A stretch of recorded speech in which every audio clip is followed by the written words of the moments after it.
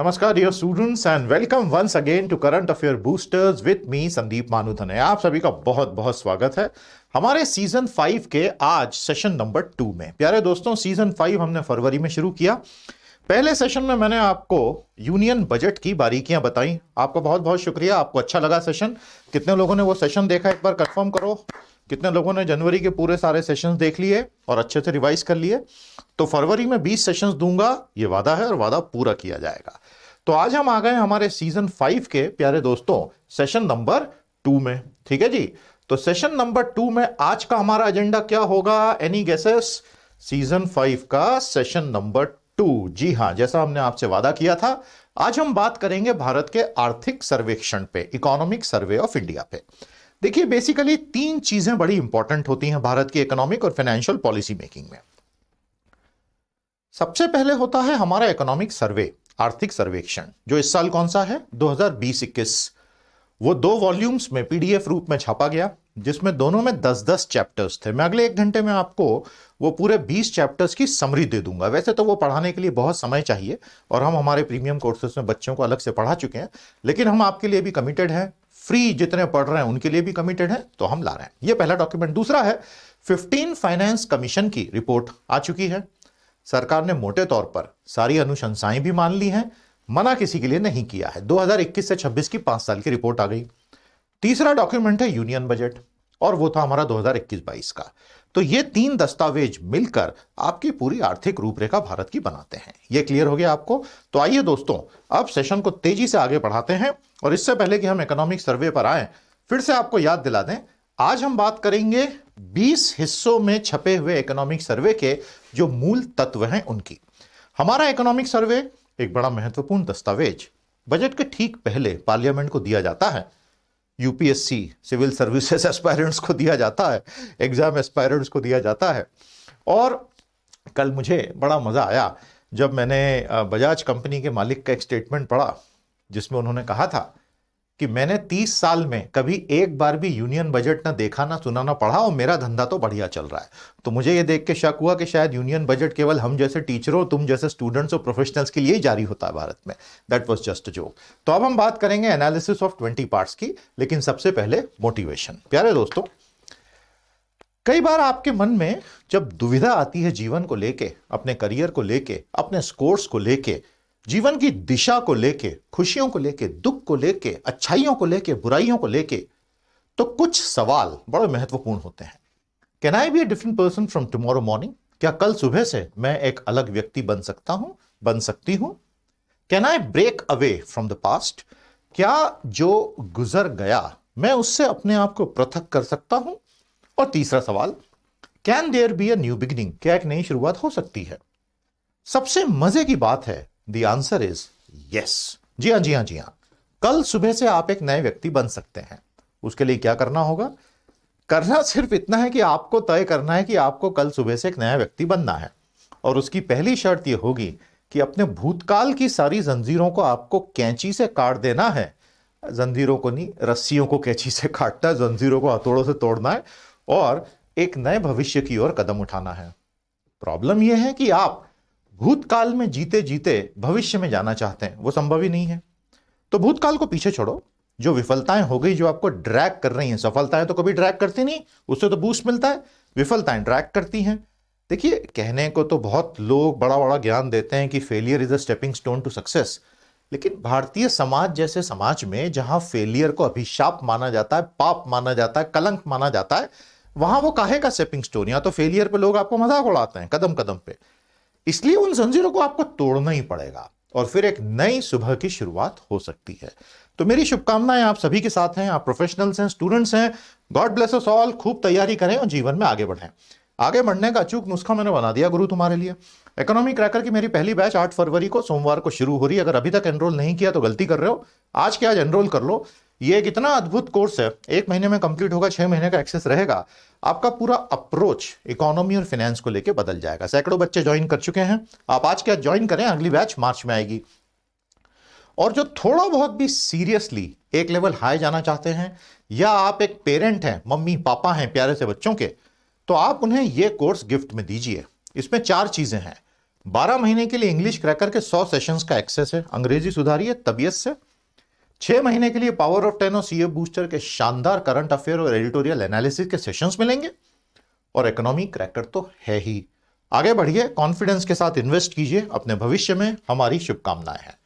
और आप चाहें तो एक एक महीने के छह छह महीने के ये कोर्सेस अभी यूट्यूब पर नीचे ज्वाइन का बटन दिख रहा है आप इनमें भी एनरोल कर सकते हैं। ये हमारी साइट पर भी उपलब्ध है। तो ये तो थी भैया कोर्सेज की बात। इकोनॉमिक सर्वे 2020 इक्कीस शुरू हुआ।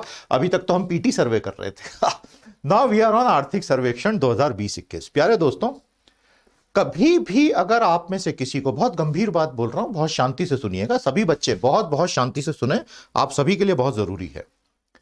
कभी भी आपको या आपके भाई बहन को या माता पिता दादा दादी को कभी भी अगर अनिद्रा की बीमारी हो जाए इंसोमनिया नींद नहीं आने की तो मैं आपको एक अचूक फ्री नुस्खा दे रहा हूँ। इकोनॉमिक सर्वे 2020-21 के पीडीएफ खोल के दो तीन पन्ने पढ़ने की कोशिश कीजिएगा। अगर खर्राटेदार नींद नहीं आई, मेरा नाम बदल दीजिएगा, मेरा नाम बदल के के सुब्रमण्यम कर दीजिएगा। सीए साहब नाराज़ मत हो यार, हँसी मज़ाक से तो दुनिया चलती है। सो माय डियर स्टूडेंट्स इस साल का इकोनॉमिक सर्वे इतना भारी भरकम, अब हम तो इतने सालों से पढ़ा रहे हैं। I can vouch for it that this year's economic survey was one of the biggest so far. One of the most complicated, one of the most economic oriented, मानो कोई प्रोफेसर साहब पढ़ा रहे हो। And with very complex English और एक तो क्या पढ़े लिखे लोगों के साथ ये बहुत बड़ी प्रॉब्लम है। अब मैं तो ज़्यादा पढ़ा लिखा हूँ नहीं इसलिए मेरे साथ ये प्रॉब्लम है नहीं। कि उनको ऐसा लगता है कि जितनी जटिल अंग्रेज़ी डालेंगे उतना इंप्रेशन अच्छा आएगा। मुझे ऐसा लगता है। किस प्रिंसिपल होना चाहिए? K I S S S keep it short and simple stupid चीज़ों को सरल रखिए सीधा रखिए। जटिलता केवल वहाँ रखी जाए, उसके बिना कोई रास्ता नहीं हो। और अदरवाइज़ क्या होता है कि लोग फिर आपके लिखे चीज़ को अनिद्रा की दवाई के रूप में इस्तेमाल करते हैं। ये मेरा व्यक्तिगत मानना है। तो इस बार का इकोनॉमिक सर्वे जितने भी लोगों ने पढ़ने की कोशिश की है, मुझे एक बात बताइए, ईमानदारी से। टफ नहीं लगा आपको? हाँ टफ था। कोई बात नहीं, अब हम उसको सरल बना देते हैं। चलिए तो सुब्रमण्यम साहब ने बहुत मेहनत की है तो उनकी मेहनत को सलाम, उनकी टीम की मेहनत को सलाम, और काम शुरू करते हैं। बजट का सेशन देखा तुमने? यस और नो झूठ मत बोलो, देखा कि नहीं? नहीं देखा तो अभी देखो और अपने दोस्तों को भी दिखाओ चैनल को सब्सक्राइब करो शेयर करो लाइक करो। दोस्तों, बजट सेशन में मैंने आपको भारतीय अर्थव्यवस्था की सच्चाई शुरू में बताई थी। याद आया आपको? इसमें कोई शक नहीं, हम एक काफ़ी गहरी मुसीबत में आज फंसे हुए हैं। हमारी इकोनॉमी 10 परसेंट से सिकुड़ गई है।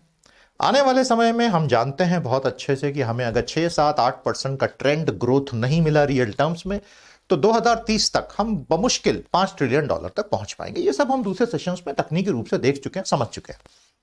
ऐसे में इकोनॉमिक सर्वे ने 20 अलग अलग चैप्टर्स में भारतीय अर्थव्यवस्था के 20 पहलुओं को उजागर किया है। जितने भी सीरियस प्रोफेशनल्स हैं सीरियस स्टूडेंट्स हैं कॉम्पिटेटिव एग्ज़ाम एस्पायरेंट्स हैं, मेरी आपको एडवाइस है, इस साल के इकोनॉमिक सर्वेस को संभाल के रखिएगा। और अलग अलग चैप्टर्स को अलग अलग समय पे यूज़ कीजिए। समझ में आ रहा है? जैसे फ़िज़िकल पोजीशन पे एक चैप्टर है, वो कहीं और काम आएगा। क्लाइमेट चेंज सस्टेनेबिलिटी पे एक दूसरा चैप्टर है, वो कहीं काम आएगा।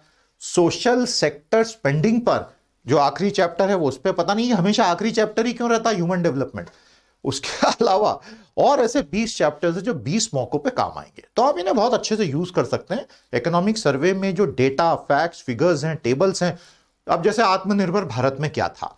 इससे अच्छा सोर्स तो हो ही नहीं सकता। दो पन्ने में पूरी summary hence this is a very good document I hope आप इसको बहुत अच्छे से सहेज के रखेंगे यूज़ करेंगे। ये सच्चाई है। क्लियर हो गया आपको? तो ये भारतीय अर्थव्यवस्था की सच्चाई है, जिसे इकोनॉमिक सर्वे ने बहुत अच्छे से एनालाइज किया। शुरुआत करने से पहले प्राइमर देखते हैं, मैं अभी 20 चैप्टर्स में गया नहीं हूँ। 20 चैप्टर्स में अभी मैं जाऊँगा। कई लोग डर गए 20 चैप्टर सुन के। नहीं, हम तेज़ी से चलेंगे। आपके लिए हमने समरी निकाली है और एक एक इंपॉर्टेंट ग्राफ रखा है। बाकी हमने हमारे सेशंस में जो बच्चों को पढ़ा है आई एस अकेडमी में और प्रीमियम में, उसमें हमने बहुत लंबा सेशन लिया। यह हम थोड़ा सा कंसाइज कर देते हैं। इस प्राइमर में बेसिकली ये बताया गया है कि सबसे बड़ी आइडियाज़ सर्वे में क्या थी। काफ़ी सारा उन्होंने महाभारत से रेफरेंस लिया कि जीवन बचाना ज़्यादा ज़रूरी है। एक नया इंडेक्स के सुब्रमण्यम साहब ने जन्म दिया। नीति आयोग वाले बहुत भड़क रहे उस दिन से कि इंडेक्स बनाना मेरा जन्म सिद्ध अधिकार है और मैं इसे लेकर रहूँगा। तो के सुब्रमण्यम साहब ने कहा, कहाँ लिखा कहाँ लिखा संविधान में कि इंडेक्स सिर्फ़ तुम बनाओगे? कॉम्पिटेटिव एग्ज़ाम एस्पायरेंट्स को सिर्फ़ तुम तंग करोगे? हम भी तंग कर सकते हैं। और वो इंडेक्स है बेयर नेसेसिटीज इंडेक्स मूलभूत आवश्यकता सूचकांक बी एन आई तो भैया बैड न्यूज़ ये है कि केवल नीति आयोग ही नहीं, अब सब कंपीट कर रहे हैं एक दूसरे के साथ कि मैं अलग अलग एग्ज़ाम वालों का वर्कलोड कैसे बढ़ाऊं? Medicine and not diet regulatory forbearance should always be a medicine and not diet खतरनाक टर्म है कि नहीं? और यहाँ उन्होंने बेसिकली इशारा किया है कि कैसे एनपीएस बने और क्यों एनपीएस अभी तक हम खत्म नहीं कर पाए। अच्छा एनालिसिस है, देखेंगे।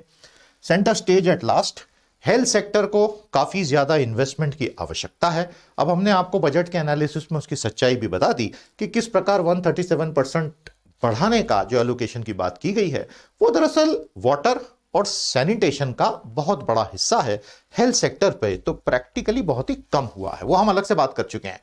ग्रोथ एंड इनइक्वालिटी कि क्या भारत में रीडिस्ट्रीब्यूशन इकोनॉमिक्स काम कर सकता है? इकोनॉमिक सर्वे ने साफ़ बोल दिया है।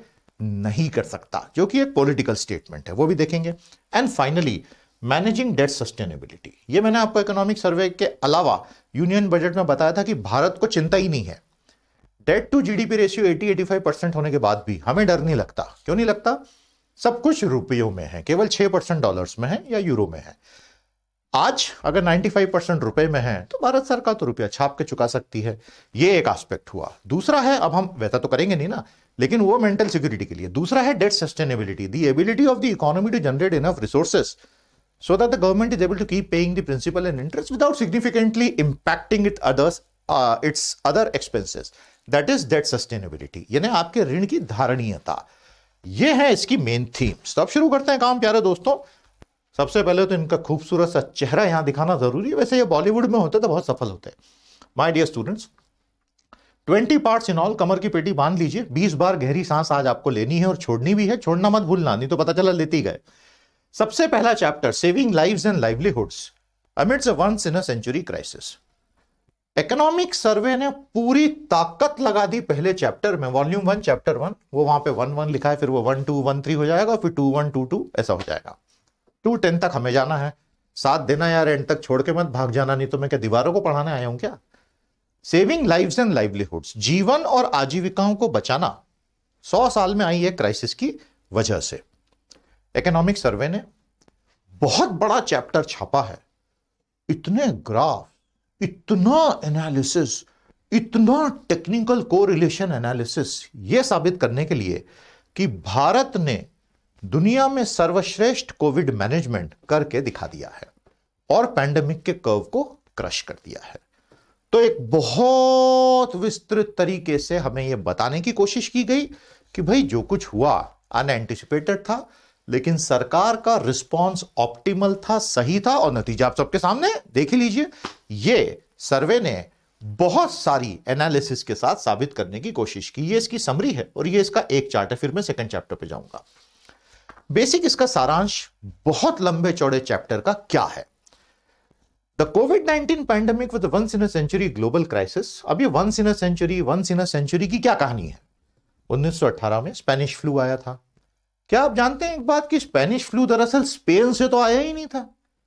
मुफ़्त हुए बदनाम। स्पेन वाले फोकट में ही बदनाम हो गए। वो फ्लू वहाँ से निकला ही नहीं था। तो मुझे कमेंट थ्रेड में कौन रिसर्च करके बताएगा कि 1918-1920 के उस महाभीषण फ्लू को स्पेनिश फ्लू क्यों कहा गया? जबकि वो स्पेन से उद्गम नहीं हुआ था उसका। बताइएगा। अच्छा सवाल है। तो सौ साल बाद एक ऐसी क्राइसिस आई, जिसने सब जगह ताले डाल दिए। लोग इतने घबरा गए कि चीन के वुहान प्रांत से निकली ये क्राइसिस जिसका चाइना में बहुत भयंकर मिसमैनेजमेंट हुआ, क्योंकि वुहान प्रांत के लोग Xi Jinping the chairman of everything under the sun उनके इंस्ट्रक्शंस का वेट करते रह गए और कई हफ़्ते बीत गए और वायरस फैल गया। इसमें कोई शक ही नहीं कि शी जिनपिंग और चाइनीज़ कम्युनिस्ट पार्टी और वुहान के प्रांतीय अधिकारी इस बात के लिए स्क्वेयरली जिम्मेदार हैं कि उन्होंने इनिशियल स्टेजेस पे भयंकर मिसमैनेजमेंट किया। नहीं तो ये क्राइसिस बहुत हद तक रोकी जा सकती थी। एनीवे anyway, अब जो हुआ सो हुआ। इस once in a century crisis की वजह से भारत सरकार को यह तय करना पड़ा कि जीवन बचाएँ कि आजीविकाएँ बचाएँ। और सुब्रमण्यम साहब कहते हैं इकोनॉमिक सर्वे में कि भारत सरकार ने यह तय किया कि हम शॉर्ट टर्म पेन लेंगे। जैसे शॉर्ट टर्म मेमोरी होती है, वैसे शॉर्ट टर्म पेन और हम सब कुछ लॉकडाउन कर रहे हैं। चार घंटे के नोटिस पे लॉकडाउन आ गया। और ये हमने क्यों किया? ताकि हमें दीर्घावधि में बहुत फ़ायदा हो। अब वैसे तो कहते हैं कि in the long term we all are dead लेकिन इकोनॉमी में लॉन्ग टर्म होगा ट्वेंटी थर्टी तो अगले दस साल, बने रहिएगा सीए बूस्ट से चलता रहेगा। क्या बात कर रहे हो, सर? हाँ सर। लॉन्ग टर्म गेन 2030 तक हमें पता चलेगा। बहुत लंबा हो गया 2025 मान लो।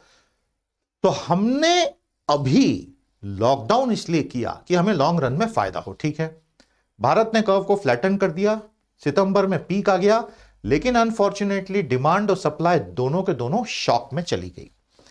इसके बाद हमने जब यूनियन बजट देखा था दोस्तों, तब मैंने आपको बताया था कि हमारा यूनियन बजट का फोकस क्या था? डिमांड साइड फोकस था या सप्लाई साइड फोकस था? बताइए जल्दी से। कमेंट थ्रेड में मुझे बताइए। केंद्रीय बजट 2021-22 मांग पक्ष समर्थन वाला बजट था या आपूर्ति पक्ष समर्थन वाला बजट था? और क्यों? वो आप हमें बताएँ। फिर ये बोलते हैं कि दोनों तरफ़ शौक था। सरकार ने दोनों की मदद करने की कोशिश की। कुछ हद तक डायरेक्ट बेनिफिट ट्रांसफ़र साठ सत्तर हज़ार करोड़ के किए गरीबों के लिए।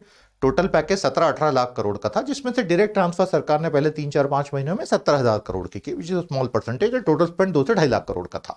बाकी का मॉनेटरी स्टिमुलस था, जो इस बार के एमपीसी में भी शक्तिकांत दास ने बोला अकोमोडेटिव स्टैंड में बना के रखूँगा। He doesn't have a choice really there फिर वो कहते हैं कि पैरेलल में हमने बहुत सारे रिफॉर्म्स लाए।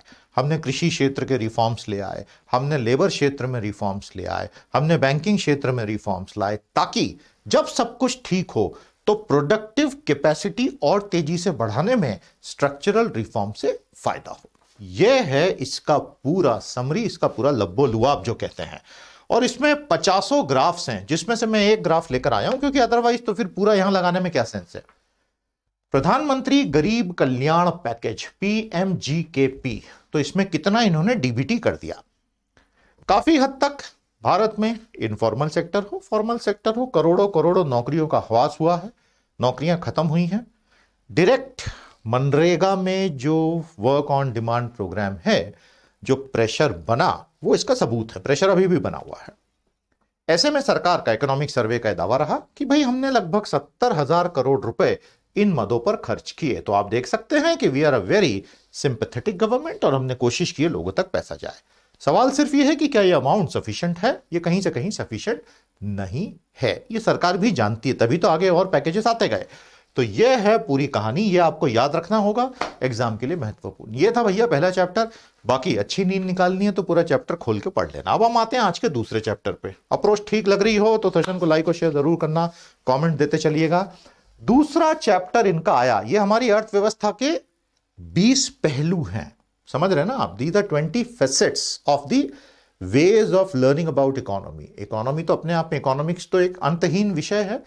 वो तो हमें इकोनॉमिक्स तो बनना नहीं है at least not me not you most of you तो हम तो कोशिश कर रहे हैं कि एक बेसिक लेवल पे समझें। दूसरा चैप्टर क्या कहता है भैया?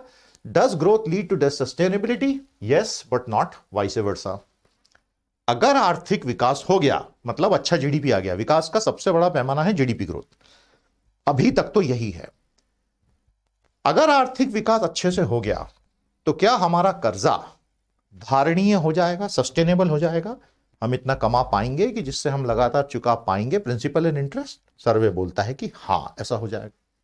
लेकिन सर्वे कहता है the reverse is not necessarily true अगर आपका कर्जा धारणीय स्तर पर बना हुआ है, उसका यह ऑटोमेटिक मतलब नहीं है कि जीडीपी तेज़ी से बढ़ने लग जाएगा which is quite a common sensical thing to say तो यहाँ हमने आपके लिए इसकी समरी निकाल दी है, और यह इससे जुड़ा एक बहुत अच्छा फिलोसॉफिकल एक्सप्लेनेशन है।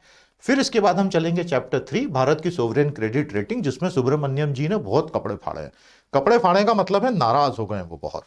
और it's a colloquial language which I have use वो बहुत नाराज़ हो गए क्रेडिट रेटिंग एजेंसीज पे कि यार तुम क्या कर रहे हो यार भाई हमारे साथ। एनीवे चैप्टर टू कहता है does growth lead to debt sustainability हाँ अगर आर्थिक विकास होगा तो हमारा कर्जा धारणीय हो जाएगा। क्यों हो जाएगा भैया?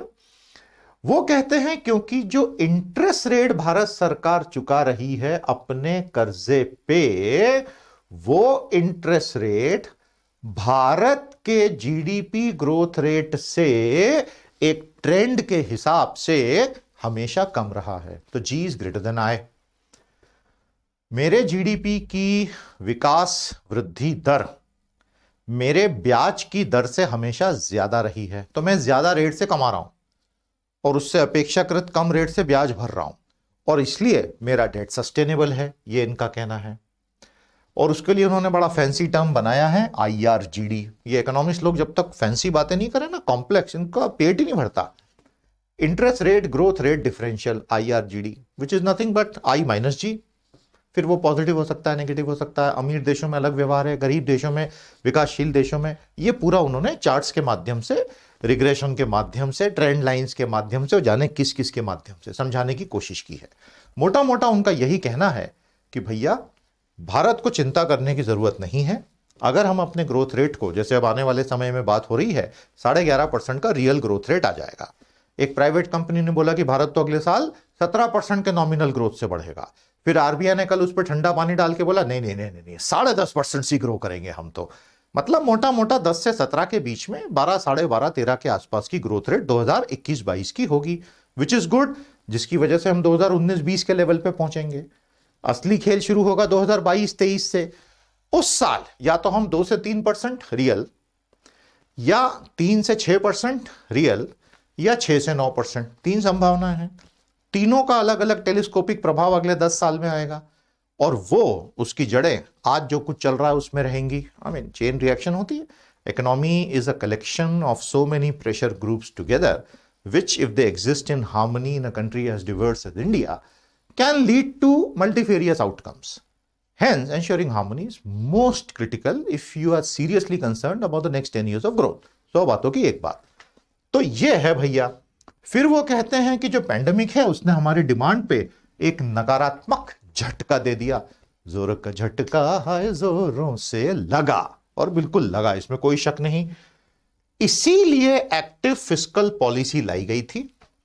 क्राइसिस में इनका कहना है लॉकडाउन के हर फ़ेज़ के साथ सरकार ने हर हफ़्ते अपनी पॉलिसी को कैलिब्रेट किया, खर्चा करना था, वहाँ किया। जहाँ करने से कोई फ़ायदा नहीं था, वहाँ नहीं किया। सही समय पर फ्री फ़ूड देना था, दिया। जब फ्री फ़ूड विड्रॉ करना था, किया। नवंबर में विड्रॉ कर लिया था। बताया नहीं, वो आरटीआर में बाहर आया। वगैरह वगैरह। और इस नेगेटिव शॉक को मैनेज करने की कोशिश की। बात समझ में आई आपको?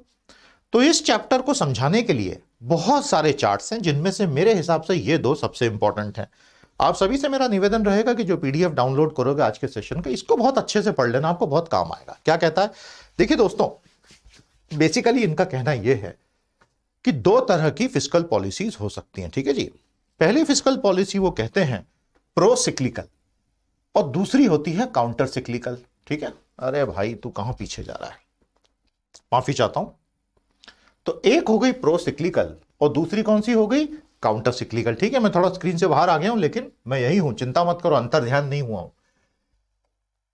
एक होता है आर्थिक मंदी रिसेशन जीडीपी गिर गया। एक होता है आर्थिक विस्तारण जीडीपी तेज़ी से बढ़ रहा है एक्सपांशन तो रिसेशन में प्रो सिक्लिकल रिसेशन में काउंटर सिक्लिकल एक्सपांशन में प्रो सिक्लिकल एक्सपांशन में काउंटर सिक्लिकल चार कॉम्बिनेशन बनते आज हम कहाँ थे? रिसेशन में। समझ में आया? और इस रिसेशन में सरकार के पास दो थे। तो इकोनॉमिक सर्वे ने कहा कि सरकार काउंटर सिक्लिकल गई प्रो सिक्लिकल नहीं गई। यह रिसेशन में इकोनॉमिक सर्वे का दावा है कि भारत सरकार ने किया। तो हम इसकी बात कर रहे हैं, ठीक है? लेकिन ये चारों को अगर आप पढ़ोगे तो आपको पॉलिसी रिस्पॉन्स समझ में आएँगे। एकदम सरल भाषा में बताता हूँ। मंदी आएगी तो सरकार के पास दो ऑप्शन है। पहला ऑप्शन क्या है? खुद का खर्चा बढ़ाओ टैक्सेस घटाओ। दूसरा ऑप्शन क्या है? खुद का खर्चा घटाओ टैक्सेस बढ़ाओ। पहले में फ़ायदा है, दूसरे में नुकसान है। जीडीपी तेज़ी से बढ़ेगा, सरकार के पास दो ऑप्शन है, जो मैंने अभी बोला, उन्हीं को उल्टा कर दो। सबके अपने अपने प्रभाव होंगे। तो इनका कहना है कि हमने ये किया कि जब मंदी आ गई, हम काउंटर सिक्लिकल चले गए, हमने अपने खर्चे बहुत बढ़ा दिए और हमने टैक्सेस या तो बढ़ाए नहीं या तो कम कर दिए। और इस वजह से हम इकोनॉमी तेज़ी से बाहर निकाल कर ला पाए। और ये अलग अलग अलग इसके प्रभाव को उन्होंने ग्राफ की मदद से समझाया है। तो आज आपको बेसिकली काउंटर सिक्लिकल और प्रो सिक्लिकल समझ में आया कि रिसेशन के जो फोर्सेस जिस तरह से चल रहे हैं, उनसे उलट दिशा में चलना, वो काउंटर सिक्लिकल हो जाएगा। पढ़ाने को इसमें बहुत कुछ है, लेकिन ये एक ओरिएंटेशन सेशन है, एक मोटे तौर पर बताने के लिए कि इकोनॉमिक सर्वे था क्या। तीसरे चैप्टर पे आ गए does India sovereign credit rating reflect its fundamental बहुत नाराज़ है सुब्रमण्यम साहब यहाँ पे। और वो कह रहे हैं कि क्या Moody Standard and Poor Fitch इन लोगों ने जो भारत को अलग अलग क्रेडिट रेटिंग दे रखी है, क्या यह वाकई में सच्ची रेटिंग्स हैं? सुब्रमण्यम साहब बोलते हैं, कदापि नहीं। और ये सब बिल्कुल गलत रेटिंग्स हैं और ये सब भारत के खिलाफ बायस्ड हैं सारी एजेंसी झूठ बोलती हैं भारत के बारे में। इससे भारत को बहुत नुकसान हो रहा है और इन लोगों को तुरंत अपने आप को सुधार लेना चाहिए, नहीं तो हम यूनाइटेड नेशन में कंप्लेन करेंगे। That last part was mind summary ये है इसमें, और उसके बाद मैं आपको ये दिखा दूँगा कि बेसिकली किस सबूत के माध्यम से उन्होंने कहा। इकोनॉमिक सर्वे कहता है कि भारत की जो सोवरेन क्रेडिट रेटिंग है, अब आपने अगर कभी क्रेडिट रेटिंग के बारे में नहीं सुना तो बता देता हूँ। देखिए, कोई भी व्यक्ति आज आप मार्केट में लोन लेने जाते हो तो सिविल का स्कोर देखते ना आपका, बस वही है क्रेडिट रेटिंग वैसी देशों की भी होती है। अमेरिका में बैठा कोई आदमी जो एक हज़ार बिलियन डॉलर मैनेज कर रहा है किसी पेंशन फंड के, वो भारत में लगाए कि अर्जेंटीना में लगाए कि मेक्सिको में लगाए कि चाइना में पैसा लगाए, उसको कैसे पता चलेगा? कोई एक थर्ड न्यूट्रल पार्टी चाहिए ना, जो स्कोर देगी। बस यही है सोवरेन क्रेडिट हमारे इकोनॉमिक रेकर कोर्स में हम बहुत विस्तार में ये चीज़ें पढ़ाते हैं। बहुत शानदार कोर्स है, आज क्या जनरोल करें। आने वाले आठ फरवरी से बैच शुरू होगी फिर अगली बैच हमारी आठ मार्च से आएगी। ये चीज़ें कितनी आजकल कॉमन हो गई हैं कि इनका नॉलेज हो तो अच्छा रहता है। एनी anyway, भारत की sovereign credit rating economic survey का दावा है बिल्कुल झूठी है। यह भारत की मूलभूत सच्चाइयों को रिफ्लेक्ट ही नहीं करती। अच्छा अभी खतरे की बात क्या है कि भारत की जो रेटिंग्स हैं वो बिल्कुल जंक स्टेटस से सिर्फ़ एक लेवल ऊपर है। और अगर एक भी लेवल ये नीचे गई अब तो भारत से भयानक कैपिटल का फ़्लाइट बाहर चला जाएगा। बहुत पैसा एफडीआर एफपीआई का बाहर निकल सकता है। एफडीआई का तो नहीं निकलेगा एफपीआई का निकल जाएगा। और नया पैसा नहीं आएगा। सरकार को ये चिंता बहुत खाई जा रही है। और इसलिए सरकार ने डिफेंसिव बैटिंग करने की बजाय ऑफेंसिव बैटिंग करने का निर्णय किया। समझ में आया? ये चैप्टर जो है, ये ऑफेंसिव बैटिंग का सिक्सर मारने का प्रयास है। Within it sovereign credit rating cohort cohort का मतलब होता है झुंड। Countries rated between higher and lower India is an outlier मतलब भारत के साथ बहुत ना इंसाफी हुई है। और हमें एकदम लोअर रेटिंग से नवाजा गया है, जबकि हमारे फंडामेंटल्स ऐसा बताते हैं कि हम तो बहुत हाई लेवल पर होने चाहिए। तो ये कौन से फंडामेंटल्स है जो बताते हैं कि हमें बहुत हाई लेवल पर होना चाहिए? हमारा एवरेज जीडीपी ग्रोथ रेट अगर पिछले एक साल को छोड़ दिया जाए, मुद्रास्फीति का control general government debt, Bharat का जो overall debt to GDP ratio रहा सत्तर परसेंट के आसपास, अब नब्बे के आसपास हो गया है cyclically adjusted primary balance current account balance control of corruption electoral bonds investor protection political stability rule of law कानून का राज ईज ऑफ़ डूइंग बिज़नेस काफ़ी सुधरे हैं। शॉर्ट टर्म एक्सटर्नल डेट ये हमारा बहुत कम है। Reserve adequacy ratio and overall sovereign default history sovereign default में भारत का रिकॉर्ड हंड्रेड परसेंट है। हमने आज तक एक भी डिफ़ॉल्ट नहीं किया, समय पे पैसा दिया है। तो इनका कहना है कि ये सब होने की वजह से भारत का रैंक सुधरना चाहिए। भारत का रैंक सुधर क्यों नहीं रहा है? तो ये पूरी कहानी इस चैप्टर में कवर की गई है। फिर वो कहते हैं कि देखो देखो देखो, हम सबूत दे देते हैं आपको। 1994 से लेके 2020 तक सोवरेन रेटिंग देखो, दुनिया की पाँचवें सबसे बड़ी अर्थव्यवस्था की। भारत की अर्थव्यवस्था पांचवी सबसे बड़ी है। नॉमिनल टर्म्स में जब आप देखते हैं तो वो कहते हैं कि भाई, पांचवी सबसे बड़ी अर्थव्यवस्था की रैंकिंग सामने है। और जब भारत टॉप फाइव में आया, उस वक्त भारत की रैंकिंग की शुरुआत ही एकदम नीचे से हुई। तो इससे यह साबित होता है कि पूरी दुनिया हमारे खिलाफ बायस्ड है। मूडीज हो फिच हो स्टैंडर्ड एंड पुअर हो यह सब हमें कम रेटिंग देने का प्रयास करते हैं। यह है भैया चैप्टर नंबर थ्री। और इसमें बहुत सारे चार्ट्स के साथ इतना बारीक एनालिसिस दिया है कि मूडीज वाले भी मुझे लगता है त्यागपत्र देकर नौकरी छोड़कर चले जाएँगे कि हम इतने सालों से गलत काम कर रहे थे। चौथे चैप्टर पे आते हैं इनइक्वालिटी एंड ग्रोथ कंफ्लिक्ट और कन्वर्जेंस भारत में एक जो बहुत बड़ी डिबेट नहीं चल रही है आज, वो है inequality it should be one of the prime debates of India देखिए, हुआ क्या है पिछले तीस सालों में? अब I have always been a supporter of liberalisation privatisation globalisation capitalism लेकिन मैं उस कैपिटलिज्म का सपोर्टर हमेशा रहा जिसमें ट्रिकल डाउन इफ़ेक्ट का वादा था। दुर्भाग्यवश हो यह गया है तीस सालों में कि भारत में एक तरह से ट्रिकल अप इकोनॉमी चल रही है। और केवल कुछ लोगों के, कुछ परिवारों के, छोटे से परसेंटेज के हाथ में भारत की मैक्सिमम दौलत का कंसंट्रेशन दिन दुनी रात चौगुनी तरक्की से बढ़ रहा है। यह बात टॉमस पिकेटी ने अपनी किताबों में लिखी। यह बात ऑक्सफैम की रिपोर्ट्स में आ रही है।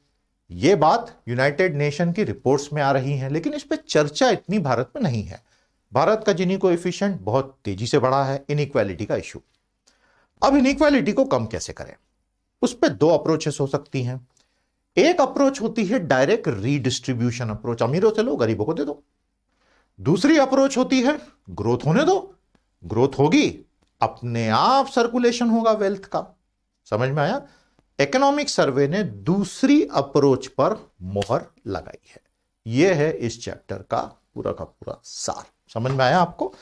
अब क्योंकि दोस्तों, मैंने 1991-92 में जो इकोनॉमिक रिफॉर्म शुरू हुए, उसको बहुत करीब से देखा।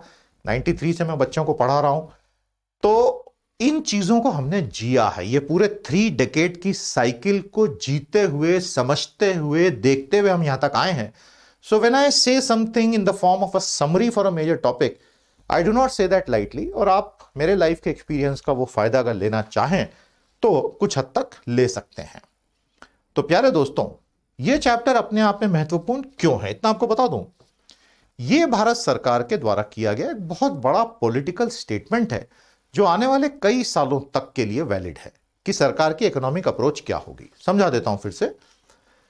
The relationship between inequality and socio economic outcomes यानी एक और अगर हम बात करते हैं कि असमानता के बीच में और सामाजिक आर्थिक आउटकम्स के बीच का जो रिश्ता है and economic growth and socio economic outcomes आर्थिक वृद्धि अगर होती है और सामाजिक आर्थिक आउटकम्स उस स्थिति में जो होंगे, इसके बीच का जो रिश्ता है मतलब इनइक्वालिटी और इकोनॉमिक ग्रोथ का कंपैरिजन किया जा रहा है। Is different in India from that observe in advance economies survey कहता है, अमीर देशों में क्या होता है कि रीडिस्ट्रीब्यूशन के प्रयास बहुत अच्छे से हो पाते हैं, क्योंकि जीडीपी का आकार कंपेयर टू पॉपुलेशन ज़्यादा है पर कैपिटल इनकम बहुत ज़्यादा है और सरकारें इसलिए बहुत अच्छे से रीडिस्ट्रीब्यूशन कर पाती हैं। हम भारत में ये कर ही नहीं सकते हैं, क्योंकि पर कैपिटा इनकम से इतनी लो है, सरकार के फ़िज़िकल रिसोर्सेस इतनी लो है टैक्स टू जीडीपी रेशियो ही इतना लो है कि हम रिडिस्ट्रीब्यूशन कैसे करें?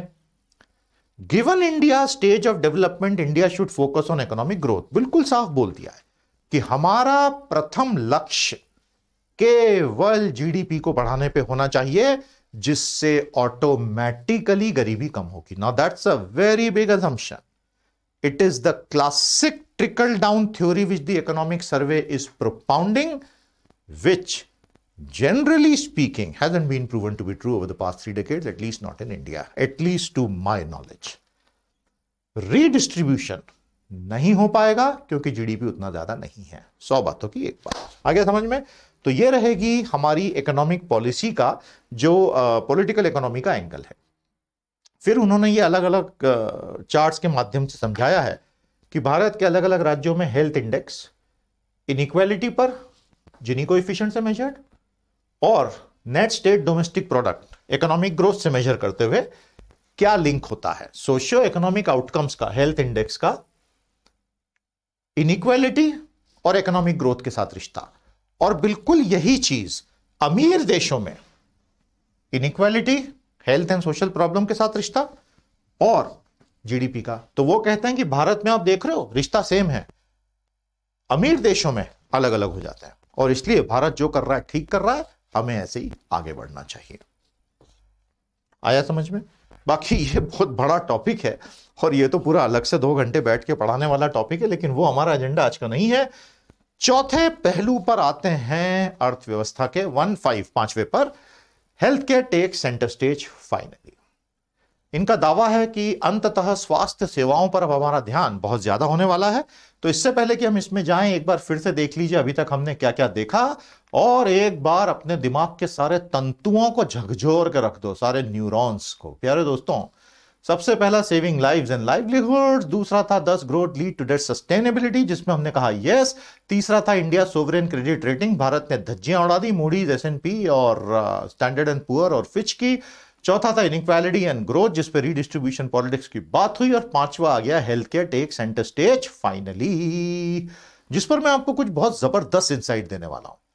प्यारे दोस्तों इकोनॉमिक सर्वे का दावा है कि अंततः इतने दशकों के बाद भारत सरकार इस बात को मानती है कि स्वास्थ्य सेवाओं में निवेश किए बिना देश आगे नहीं बढ़ सकता। और इसीलिए 2020 में बहुत सारे ऐसे एक्सपेंडिचर्स किए गए, जिससे अब हमारा फोकस हेल्थ केयर पे हो गया है। इसके बाद आया बजट बजट में दावा किया गया कि एक प्रतिशत से हमने हेल्थ केयर का स्पेंड बढ़ा दिया है। उस दावे का आकलन मूल्यांकन, हम अभी एक मिनट में करेंगे। पहले इसकी समरी देख लें चैप्टर की। The pandemic showed how health care crisis can transform into an economic and social crisis absolutely बहुत अच्छा लिखा है। भारत में स्वास्थ्य की यह बड़ी आपदा, एक आर्थिक और सामाजिक आपदा में रातों रात तब्दील हो गई। कैसे तब्दील हुई? अरे भाई, लोगों की आजीविकाएँ छिन गई तो वो आर्थिक। और लोग मरने लगे हज़ारों की तादाद में, वो सामाजिक। और आर्थिक से सामाजिक, जो नहीं मरे उनके लिए भी है ही। आपको याद होगा, सितंबर में रोज एक लाख केसेस निकल रहे थे और बारह सौ लोग मर रहे थे और ये ऑफिशियल आंकड़े थे। सबसे बड़ी बात पैंडेमिक में मौतों की ये रही कि परिवार के लोग भी आखिरी वक्त में साथ नहीं हो सकते। कई लोग तो अस्थि संचय के लिए तक डर के मारे, श्मशानों में नहीं गए। मतलब कैसी मौत हुई है लोगों की सोचो।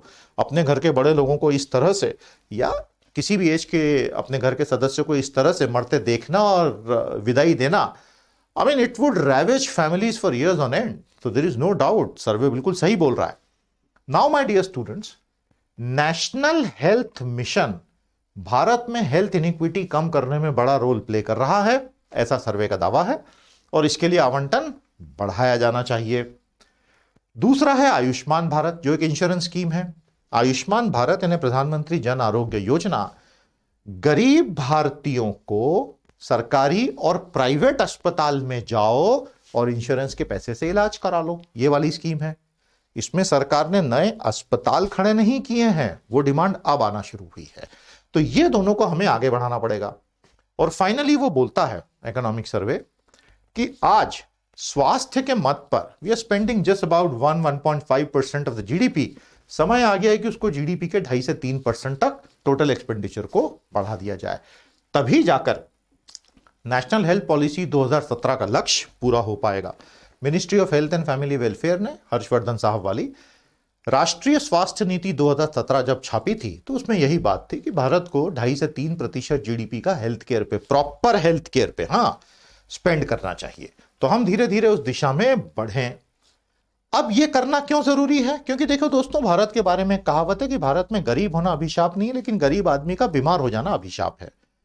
क्यों? भारत में करोड़ों परिवार गरीबी की रेखा से बड़ी मुश्किल से धीरे धीरे ऊपर उठते हैं। और जब ये गरीबी की रेखा से ऊपर उठते हैं तो होता यह है कि ये बहुत तेज़ी से वापस गरीबी की रेखा के नीचे चले जाते हैं, अगर घर का कोई आदमी बीमार हो जाता है तो। क्योंकि आउट ऑफ़ पॉकेट एक्सपेंसेस इतने भयंकर हो जाते हैं कि लोगों की सारी ज़िंदगी की जमा पूंजी नष्ट हो जाती है। इसे कम करने की आवश्यकता है, और यह आयुष्मान भारत के बाद भी ओओपीई कम नहीं हुआ है। इस पर एक बहुत डिटेल्ड एनालिसिस इंडियन एक्सप्रेस में छपा था कि इस साल के हेल्थ बजट में दरअसल हुआ क्या है। ये मैंने बजट के सेशन में ले लिया है। सौ बातों की एक बात आपको बता दूँ, प्यारे दोस्तों, एक प्रतिशत की ग्रोथ हुई है यह दावा है। और टोटल एस्टिमेट हम 2.23 लाख करोड़ का करेंगे, व्यय यह दावा है।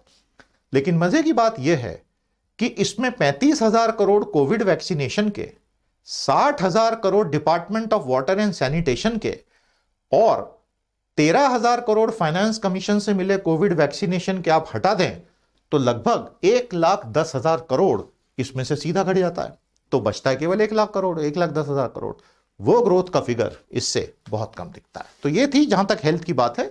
इस पर जितने डिस्कशन चाहे कर सकते हैं, लेकिन अभी वो हमारा लक्ष्य नहीं है। छठे चैप्टर पर आ गए process reforms enabling decision making under uncertainty हमारी ब्यूरोक्रेटिक प्रोसेसेस हमारी रेगुलेटरी प्रोसेसेस हमारी देश को चलाने की प्रोसेसेस हमारी जुडिशियल प्रोसेसेस कैसी हैं फास्ट हैं स्लो हैं, और पैंडेमिक से पैदा हुई अनिश्चितताओं के दौरान इन प्रोसेसेस को कैसे काम करना चाहिए, इसके ऊपर सर्वे ने बहुत कुछ कहा।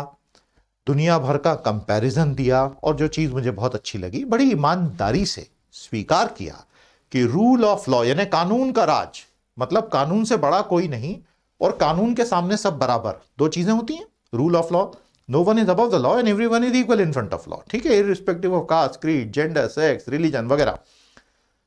उन फ्रंट्स पर भारत को अभी लंबा रास्ता तय करना है, ये इकोनॉमिक सर्वे ने फैक्ट्स फिगर्स के साथ बताया विच इज़ वेरी प्रेज वर्दी आइए इसका सारांश देखते हैं।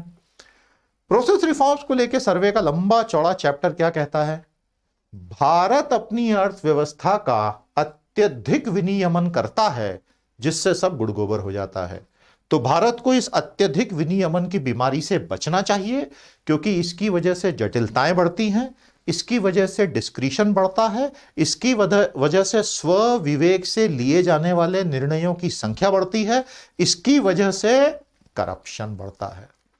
और सारी पॉसिबल आउटकम्स को कंट्रोल करने वाले रेगुलेशन मत बनाओ, क्योंकि रियल वर्ल्ड में you can never predict all outcomes so why are you trying to make regulation that predict all outcomes hence let certain freedom be given. Don't make very very tight regulations. They are of no use. ये है इसकी सारी बात simplify करो हर चीज़ को supervision transparent करो आईटी का यूज़ करो और चीज़ों को तेज़ी से आगे बढ़ाओ there is very little to really question in this और ये बात सही है इस चैप्टर में जो ग्राफ्स दिए हैं, आप अच्छे से देखिएगा। अगर आपको इंटरनेशनल कंपैरिजन ऑफ़ इंडिया देखना हो तो आपको मिलेगा।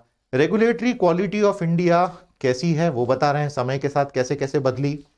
और क्रॉस कंट्री कंपैरिजन कैसा है, सिंगापुर को परसेंटाइल रैंक अगर हम एकदम टॉप पे 99.99 पे देखें, देखिए, सिंगापुर में आप जानते ही हैं रूल ऑफ़ लॉ है। हालाँकि बहुत सख्त देश है। और ग्लोबल आर्बिट्रेशन का बहुत बड़ा केंद्र है। भारत बनना चाहता है। भारत चाहता है दुनिया में आर्बिट्रेशन का ऑल्टरनेट डिस्प्यूट रेजोल्यूशन एडीआर पूरा चैप्टर है सिलेबस में अलग अलग एग्ज़ाम्स के। भारत उसका एक प्रमुख केंद्र बिंदु बने। Now, in order to become a center point for ADR in India, you need to have an absolute rule of law.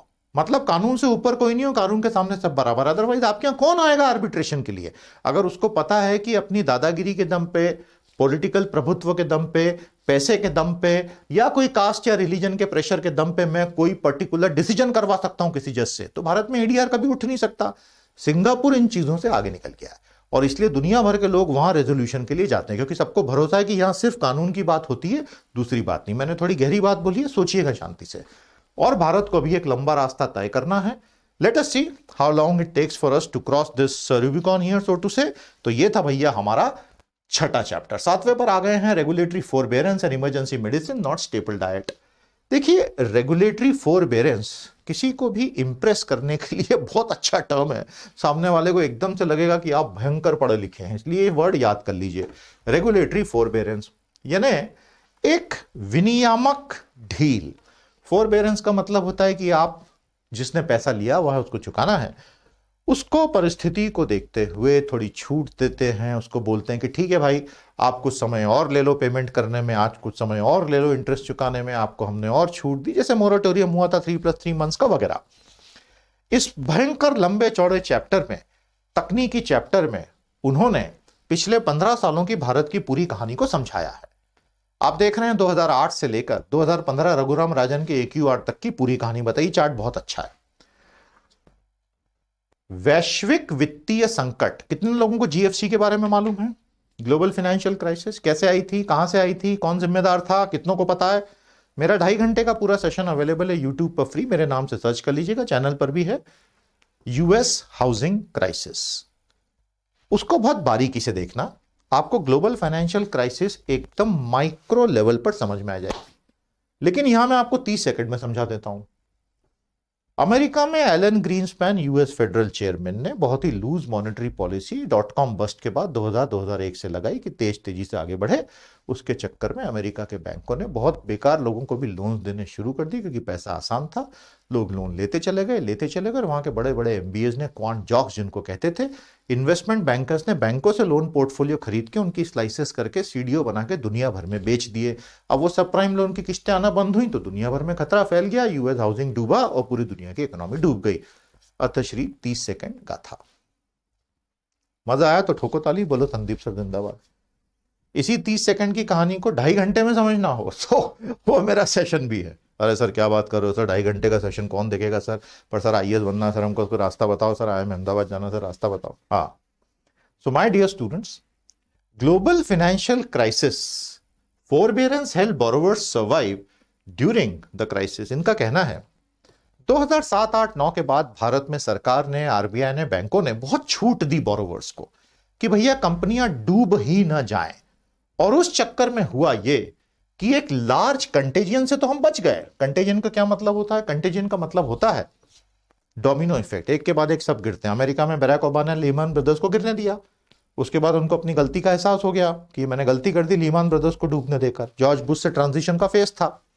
इसलिए तुरंत उन्होंने ट्रबल्ड एसेट रिकंस्ट्रक्शन प्रोग्राम लाकर 800 बिलियन डॉलर उसमें लगाया। तब उसको चलाने वाले कश्मीरी आदमी था, नील कश्करी बड़ा खतरनाक समय था 2008 का 2009 का। Now this forbearance continued long after आरोप है। इकोनॉमिक सर्वे आरोप लगा रहा है उस वक्त की सरकारों पे कि आपने फोरबेरेंस को जल्दी खत्म क्यों नहीं किया? नहीं किया, इसी वजह से एनपीएस बढ़ गए, जो हम आज तक उस समस्या से जूझ रहे हैं। लेकिन आईबीसी आने के बाद तो समस्या खत्म होनी थी ना, नहीं हो पाई। अब यह है 2008 की कहानी। और यह है रघुराम राजन द्वारा किए गए क्रांतिकारी एसेट क्वालिटी रिव्यू की कहानी, जिसमें एक्चुअल एनपीए के फिगर सामने आ गए। तब तक तो kicking the can down the road चल रहा था, लेकिन finally Rajan put stop to it कि भाई एक करो। इकोनॉमिक सर्वे बोलता है कि आज हमें बहुत डिटेल्ड एक की ज़रूरत है और यही बात एमपीसी में शक्तिकांत दास ने 6 फरवरी को कही 5 फरवरी को 2021 कि बहुत डिटेल्ड ए भी होगा एनपीए का इंटरनल स्टडी होगा। हम समझ रहे हैं कि दरअसल प्रॉब्लम कितनी गहरी है। समझ में आ गया आपको? तो ये था प्यारे दोस्तों, हमारा चैप्टर नंबर सेवन अब आ गए chapter number eight first volume में ही है अभी तो हम। नवाचार इनोवेशन भारत बहुत तेज़ी से आगे बढ़ रहा है, हमारे इनोवेशन बहुत तेज़ी से हो रहा है, लेकिन दुख की बात है कि प्राइवेट सेक्टर ज़्यादा कुछ नहीं कर रहा। बहुत आरोप लगाया भारत के प्राइवेट सेक्टर पे। बिल्कुल सही आरोप लगाए हैं। मैं समझाता हूँ कैसे। My dear students, innovation is the only way India can remain on the top in the world economy. Legacy businesses से आप दुनिया में नंबर वन तो नहीं बनोगे ना? यू हैव टू इनोवेट नए बिज़नेस नए आइडियाज़ भारत को अनेकों इलॉन मस्क की ज़रूरत है। हम पैदा कर नहीं पा रहे इलॉन मस्क इस देश में। हमें ऐसे लोग चाहिए जो बिल्कुल हट के सोचें। हट के सोचने का मतलब ये नहीं कि किसी व्यक्ति ने व्यापार बड़ा कर लिया तो उसने हट के सोचा। बड़े व्यापार तो स्थानीय व्यापारों में भी हो सकते हैं। भारत में इनोवेटिव थिंकिंग की बहुत कमी है। इकोनॉमिक सर्वे ने भारत के सारे प्राइवेट सेक्टर को आड़े हाथों लेते हुए बोला है कि ये लोग आरएनडी में इन्वेस्ट ही नहीं करते हैं। इनका सारा लक्ष्य अपनी बैलेंस शीट की तरफ़। 100 परसेंट सही बात है। भारत की सारी आईटी कंपनी उठा के देख लीजिए। The prime focus is the profit figure they show in the quarterly balance sheet that's it yes that is it पूछ लीजिए किसी भी आईटी वाले से। We are not doing cutting edge research which will put India on the top. And even where we do that, unfortunately, our companies are unable to grab the commerce side of it. समझ रहे हैं उसका best उदाहरण है हमारा NPCI का UPI जिसका 90 percent share तीन अमेरिकन कंपनीज़ के हाथ में चला गया है ऐसी बहुत सी चीज़ों पर इनोवेशन के चैप्टर में इन्होंने बात की है हालाँकि ऐसा नहीं है कि सब कुछ गलत ही है चीज़ें सुधर भी रही हैं, लेकिन अभी रास्ता बहुत लंबा है given the size of India में बहुत आगे होना चाहिए था। इसीलिए सरकार फिर वो एक नया साढ़े नौ सौ करोड़ का स्टार्टअप फंड भी लाई है, बहुत कुछ किया है। भारत टॉप फिफ्टी सबसे इनोवेटिंग कंट्रीज़ की लिस्ट में आ गया है। अच्छी बात है। 2007 में जब से ग्लोबल इनोवेशन इंडेक्स बना है, भारत काफ़ी तेज़ी से बढ़ा है। हम 48 पर आ गए हैं, पहले 81 पे थे। लेकिन अभी हमें बहुत ज़्यादा लंबा रास्ता तय करना है। हमारा जीडीपी के प्रतिशत के रूप में आरएनडी का स्पेंड बहुत कम है। हमारा लोकल लोगों के द्वारा पेटेंट फाइलिंग आईपीआर के पेटेंट कॉपीराइट ट्रेडमार्क फाइलिंग की दर बहुत कम है। भारत में विदेशी ज़्यादा फ़ाइल कर रहे हैं, बजाय भारत के अपने लोग। और जब तक यह सब नहीं बदलेगा, तब तक सिर्फ़ सरकारी लेबोरेटरीज से, सरकारी संस्थानों में जनता के पैसे से होने वाले आरएनडी से देश आगे कितना बढ़ेगा, आज उसी से चल रहा है। यह है इस चैप्टर की पूरी समरी ये एक ग्राफ सारी कहानी बता देता है। Patent application filed in India आप जानते हैं patent. Is the right to monopoly that you claim for a period of twenty years और something else depending on the IPL laws of that country सारी दुनिया पेटेंटों पे चलती है। भारत में जितने पेटेंट फ़ाइल हुए टोटल वो ये हैं। है ना?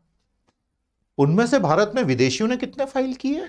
ये। और अपने देशी भाइयों ने कितने फ़ाइल किए? ये।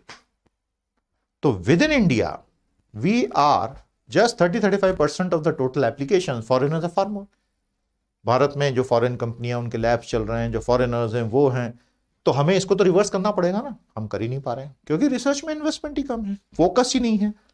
हमारा फोकस बैलेंस शीट्स पे है रिसर्च पे which is the business of tomorrow थोड़ा कम है। तो कहीं ना कहीं भविष्य में निवेश बहुत तेज़ी से बढ़ाना होगा, जो कि आज नहीं है। अब पैंडेमिक से इसमें नुकसान हो गया है। कैसे? देखिए पैंडेमिक ने पूरे रातों रात धंधे खत्म कर दिए लोगों के। तो अब हो क्या रहा है? लोगों का फोकस सर्वाइवल पर आ गया है। पैंडेमिक इज़ फोकसिंग और other forcing companies to focus more on survival rather than innovation समझ रहे मेरी बात? इसलिए इसमें और दिक्कत आने वाली आने समय में। तो कहीं ना कहीं अब सरकार का रोल बहुत इंपॉर्टेंट होगा। सोसाइटी को भी अपने यंग लोगों को इनोवेट करने के लिए मोटिवेट करना चाहिए। We are not talking of minor innovation here और there we are talking of earth shaking innovation now we are talking of India level right इसलिए। तो ये एक सोशल इश्यू है बेसिकली नवे पर आ गए हैं आयुष्मान भारत जन आरोग्य योजना और उससे होने वाले फ़ायदे। काफ़ी तारीफ़ की गई है। बहुत सारे चार्ट्स के साथ इन्होंने बताया है कि जन आरोग्य योजना 2018 में प्रधानमंत्री ने लॉन्च की थी। इसकी वजह से भारत के गरीबों को बहुत फ़ायदा हुआ। ये एक इंश्योरेंस स्कीम है। और उन्होंने फिर एक कंपैरिजन दिया। इस पूरे चैप्टर में बेसिक खेल कंपैरिजन का है। भारत में फेडरल सिस्टम है क्वादा फेडरल है, अर्धसंघीय है। कई राज्यों ने प्रधानमंत्री जन आरोग्य योजना लॉन्च नहीं की। कई राज्यों ने की। जिन राज्यों ने नहीं की और जिन राज्यों ने की, इनका डायरेक्ट कंपैरिजन बहुत सारे हेल्थ पैरामीटर्स पर इस चैप्टर में दिया गया है। और यह साबित करने का प्रयास किया गया है कि जिन राज्यों ने, जैसे कि पश्चिम बंगाल ने, प्रधानमंत्री जन आरोग्य योजना लॉन्च नहीं की, क्योंकि उनकी अपनी लोकल योजना बहुत सारी चल रही थी, या पॉलिटिकल कंपटीशन थी, या झगड़ा था, या जो भी था, वो बहुत पीछे हो गए अब। और जिन्होंने लॉन्च की, वो देखो सब कितने आगे निकल गए करीबन 20-30 ग्राफ्स के माध्यम से ये बताने की कोशिश की गई है। तो ये इसका एक्सप्लेनेशन है कि इस चैप्टर में एक्चुअली उन्होंने किया क्या है। Pradhanmantri Jan Arogya Yojana has been very successful in providing health care access to the most vulnerable sections of India और सर्वे से हम ये साबित कर रहे हैं। ऐसा सुब्रमण्यन साहब का कहना है। पैरेलल में एक बहुत अच्छा इंफोग्राफिक में हिंदू अखबार से लाए जिसमें ये बता रहे हैं कि क्यों भारत में पूरा का पूरा हेल्थ केयर सेक्टर प्राइवेट के हाथ में जाने की वजह से लगभग पूरा का पूरा गरीबों पर बहुत मार पड़ी है। ये सर्वे ने भी कहा है। और क्यों भारत को अब एक हेल्थ केयर रेगुलेटर की आवश्यकता है जो ये आउटकम्स को स्टडी करे कि एक्स रुपीज़ लेके क्या आउटकम आया और वाई रुपीज़ लेके सरकार में क्या, और उस हिसाब से कॉस्ट कंट्रोल भी करवाए। ये सुन के फाइव स्टार और सेवन स्टार हॉस्पिटल्स वालों की नफ्स चलना बंद हो सकती है। लेकिन सर्वे ने बड़ा फ्रैंकली इस पर अलग अलग चैप्टर्स में रोशनी डाली है कि this rampant privatisation has not been good देखिए दोस्तों, सच्चाई ये है 1970 के बाद से तीन क्षेत्र जो हैं, वो सरकारों के हाथ से धीरे धीरे धीरे धीरे धीरे धीरे पचास साल में निकल गए। पहला था रोड ट्रांसपोर्टेशन, दूसरा था एजुकेशन, तीसरा था हेल्थ केयर तीन चीज़ें जो सीधे नागरिक के जीवन पर असर करती हैं। आज maximum road transportation, maximum education and maximum health care is in private sector. बहुत अच्छे लोग भी हैं और मुनाफाखोर भी हैं। प्रॉब्लम उससे नहीं है। प्रॉब्लम उससे है कि पैरेलल में हाई क्वालिटी गवर्नमेंट सर्विसेज़ गायब हो गई हैं। ऑप्शन ही नहीं बचा है। तो गरीब आदमी का परसेंटेज ऑफ़ इस इनकम जो स्पेंड हो जाता है इसमें, वो उसको परमानेंटली गरीब कर देता है। और ये सोशल इनक्वालिटी को बहुत ज़्यादा एग्जैसरबेट कर रहा है वर्सन कर रहा है। इस पर कितने ही सर्वे खुद सरकारों के आए हैं और फाइनली इकोनॉमिक सर्वे ने भी उस पर इशारा कर ही दिया। तो चैप्टर नाइन समझ में आ गया आपको? आप जान रहे हैं ना, कितना फिर आपको भी एक सेंस आ रहा है कि कितने बड़े बड़े टॉपिक्स हैं ये। और इसलिए सर्वे के पीडीएफ को भैया संभाल के रखना। और ये सबसे बड़ा इनोवेशन नीति आयोग का कॉम्पिटिटर आ गया मैदान में। बेयर नेसेसिटीज इंडेक्स मूलभूत आवश्यकता सूचकांक। यूपीए की दोनों सरकारों की अप्रोच ये थी राइट टू एजुकेशन लाइए, लोगों को शिक्षा दीजिए, लोग अपने आप जुगाड़ कर लेंगे जीवन में। राइट टू इंफॉर्मेशन लाइए, लोगों को जानकारी तक पहुँच दीजिए। गवर्नेंस अपने आप सुधर जाएगा। Sunlight is the best disinfectant said one जज of supreme court right to food लाइए, लोगों तक खाना दीजिए, लोग अपने आप पुष्ट तंदुरुस्त हो जाएँगे। राइट टू वर्क दीजिए, लोगों के जीवन में गरिमा अपने आप आ जाएगी। मनरेगा चार राइट्स मैंने गिना दिए। मोदी जी की अप्रोच एकदम अलग है न्यू वेलफेयरिज्म ऑब्जेक्ट्स पहुँचा दो लोगों के हाथ में। एलपीजी का सिलेंडर दो, पीने के पानी का नल दो टॉयलेट बनवा के दो, और इससे उसका जीवन आज क्या सुधर जाएगा? ये दोनों अप्रोचेस हैं। सही गलत कुछ नहीं होता। हर सरकार की अपनी एक सोच, अपनी एक अप्रोच अपना एक तरीका होता है। बेयर नेसेसिटीज इंडेक्स का चैप्टर ये कंपैरिजन करके बताता है कि भारत में ये जो मूलभूत चीज़ें होनी चाहिए थी, कितनी सुधर गई पिछले सालों में। बहुत सारे चार्ट्स के साथ इस प्रकार के क्लेम्स किए गए हैं। तो इसकी समरी जो है दोस्तों बेयर नेसेसिटीज इंडेक्स की, वो ये है और ये इसके बहुत बहुत लंबा चौड़ा चैप्टर है।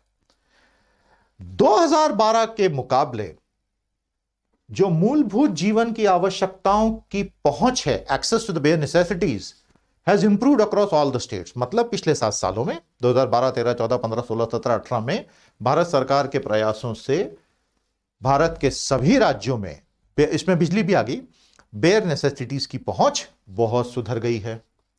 Improvements are very wide spread लोगों को पानी मिलने लगा है। घर मिल गए प्रधानमंत्री आवास योजना, स्वच्छ भारत अभियान सैनिटेशन बहुत सारे माइक्रो एनवायरमेंट के इश्यूज़ और अन्य सुविधाएँ मिलने लग गई हैं। लेकिन आप जानते ही हैं India is many countries rolled into one country inter state disparity यानी अंतर राज्य विषमताएँ बहुत तेज़ी से बढ़ी हैं। और कई मतलब सत्तर सालों में बढ़ी हैं, अब धीरे धीरे कम भी हुई हैं, लेकिन अभी भी ऐसा नहीं कि गायब हो गई हैं, बनी हुई हैं। और धीरे धीरे उसको कम करने की कोशिश की जा रही है। जल जीवन मिशन, भारत सरकार अगले तीन साल इस पर पूरी ताकत से लगी हुई है। मैंने हेल्थ में आपको साठ हज़ार करोड़ का आवंटन बता दिया था। अच्छा P M A N S Y जो हमने आपको बताया, प्रधानमंत्री आत्मनिर्भर स्वास्थ्य योजना, उस पर साठ हज़ार करोड़ का आवंटन है, बजट में वो कहीं दिया नहीं गया मतलब वो अगले साल से आने वाला है। जल जीवन मिशन स्वस्थ भारत मिशन ग्रामीण, प्रधानमंत्री आवास योजना ग्रामीण, ये सब चीज़ों पे फोकस है, जिसको ये बेयर नेसेसिटीज इंडेक्स बताते हैं, ये समझाया है और ये कंपैरिजन दिया है।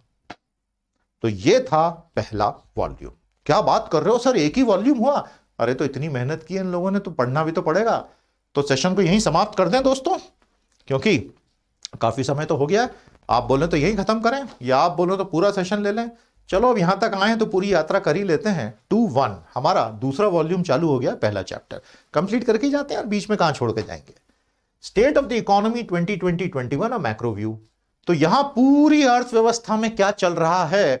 उसका पूरा लेखा जोखा भाई साहब ने दे दिया है। बहुत डिटेल चैप्टर है, बहुत ही डिटेल चैप्टर है, जिसमें सारी फ़िज़िकल पोजीशन, मॉनेटरी पोजीशन और जीडीपी कहाँ जा रहा है? जीडीपी के कंपोनेंट्स किस दिशा में जा रहे हैं? दुनिया में रिसेशन आया, उससे हम पे क्या असर आया? हमारा एक्सटर्नल सेक्टर कैसा कर रहा है? फॉरेन एक्सचेंज कहाँ जा रहा है? सब सब सब भयंकर लंबा चौड़ा चैप्टर है।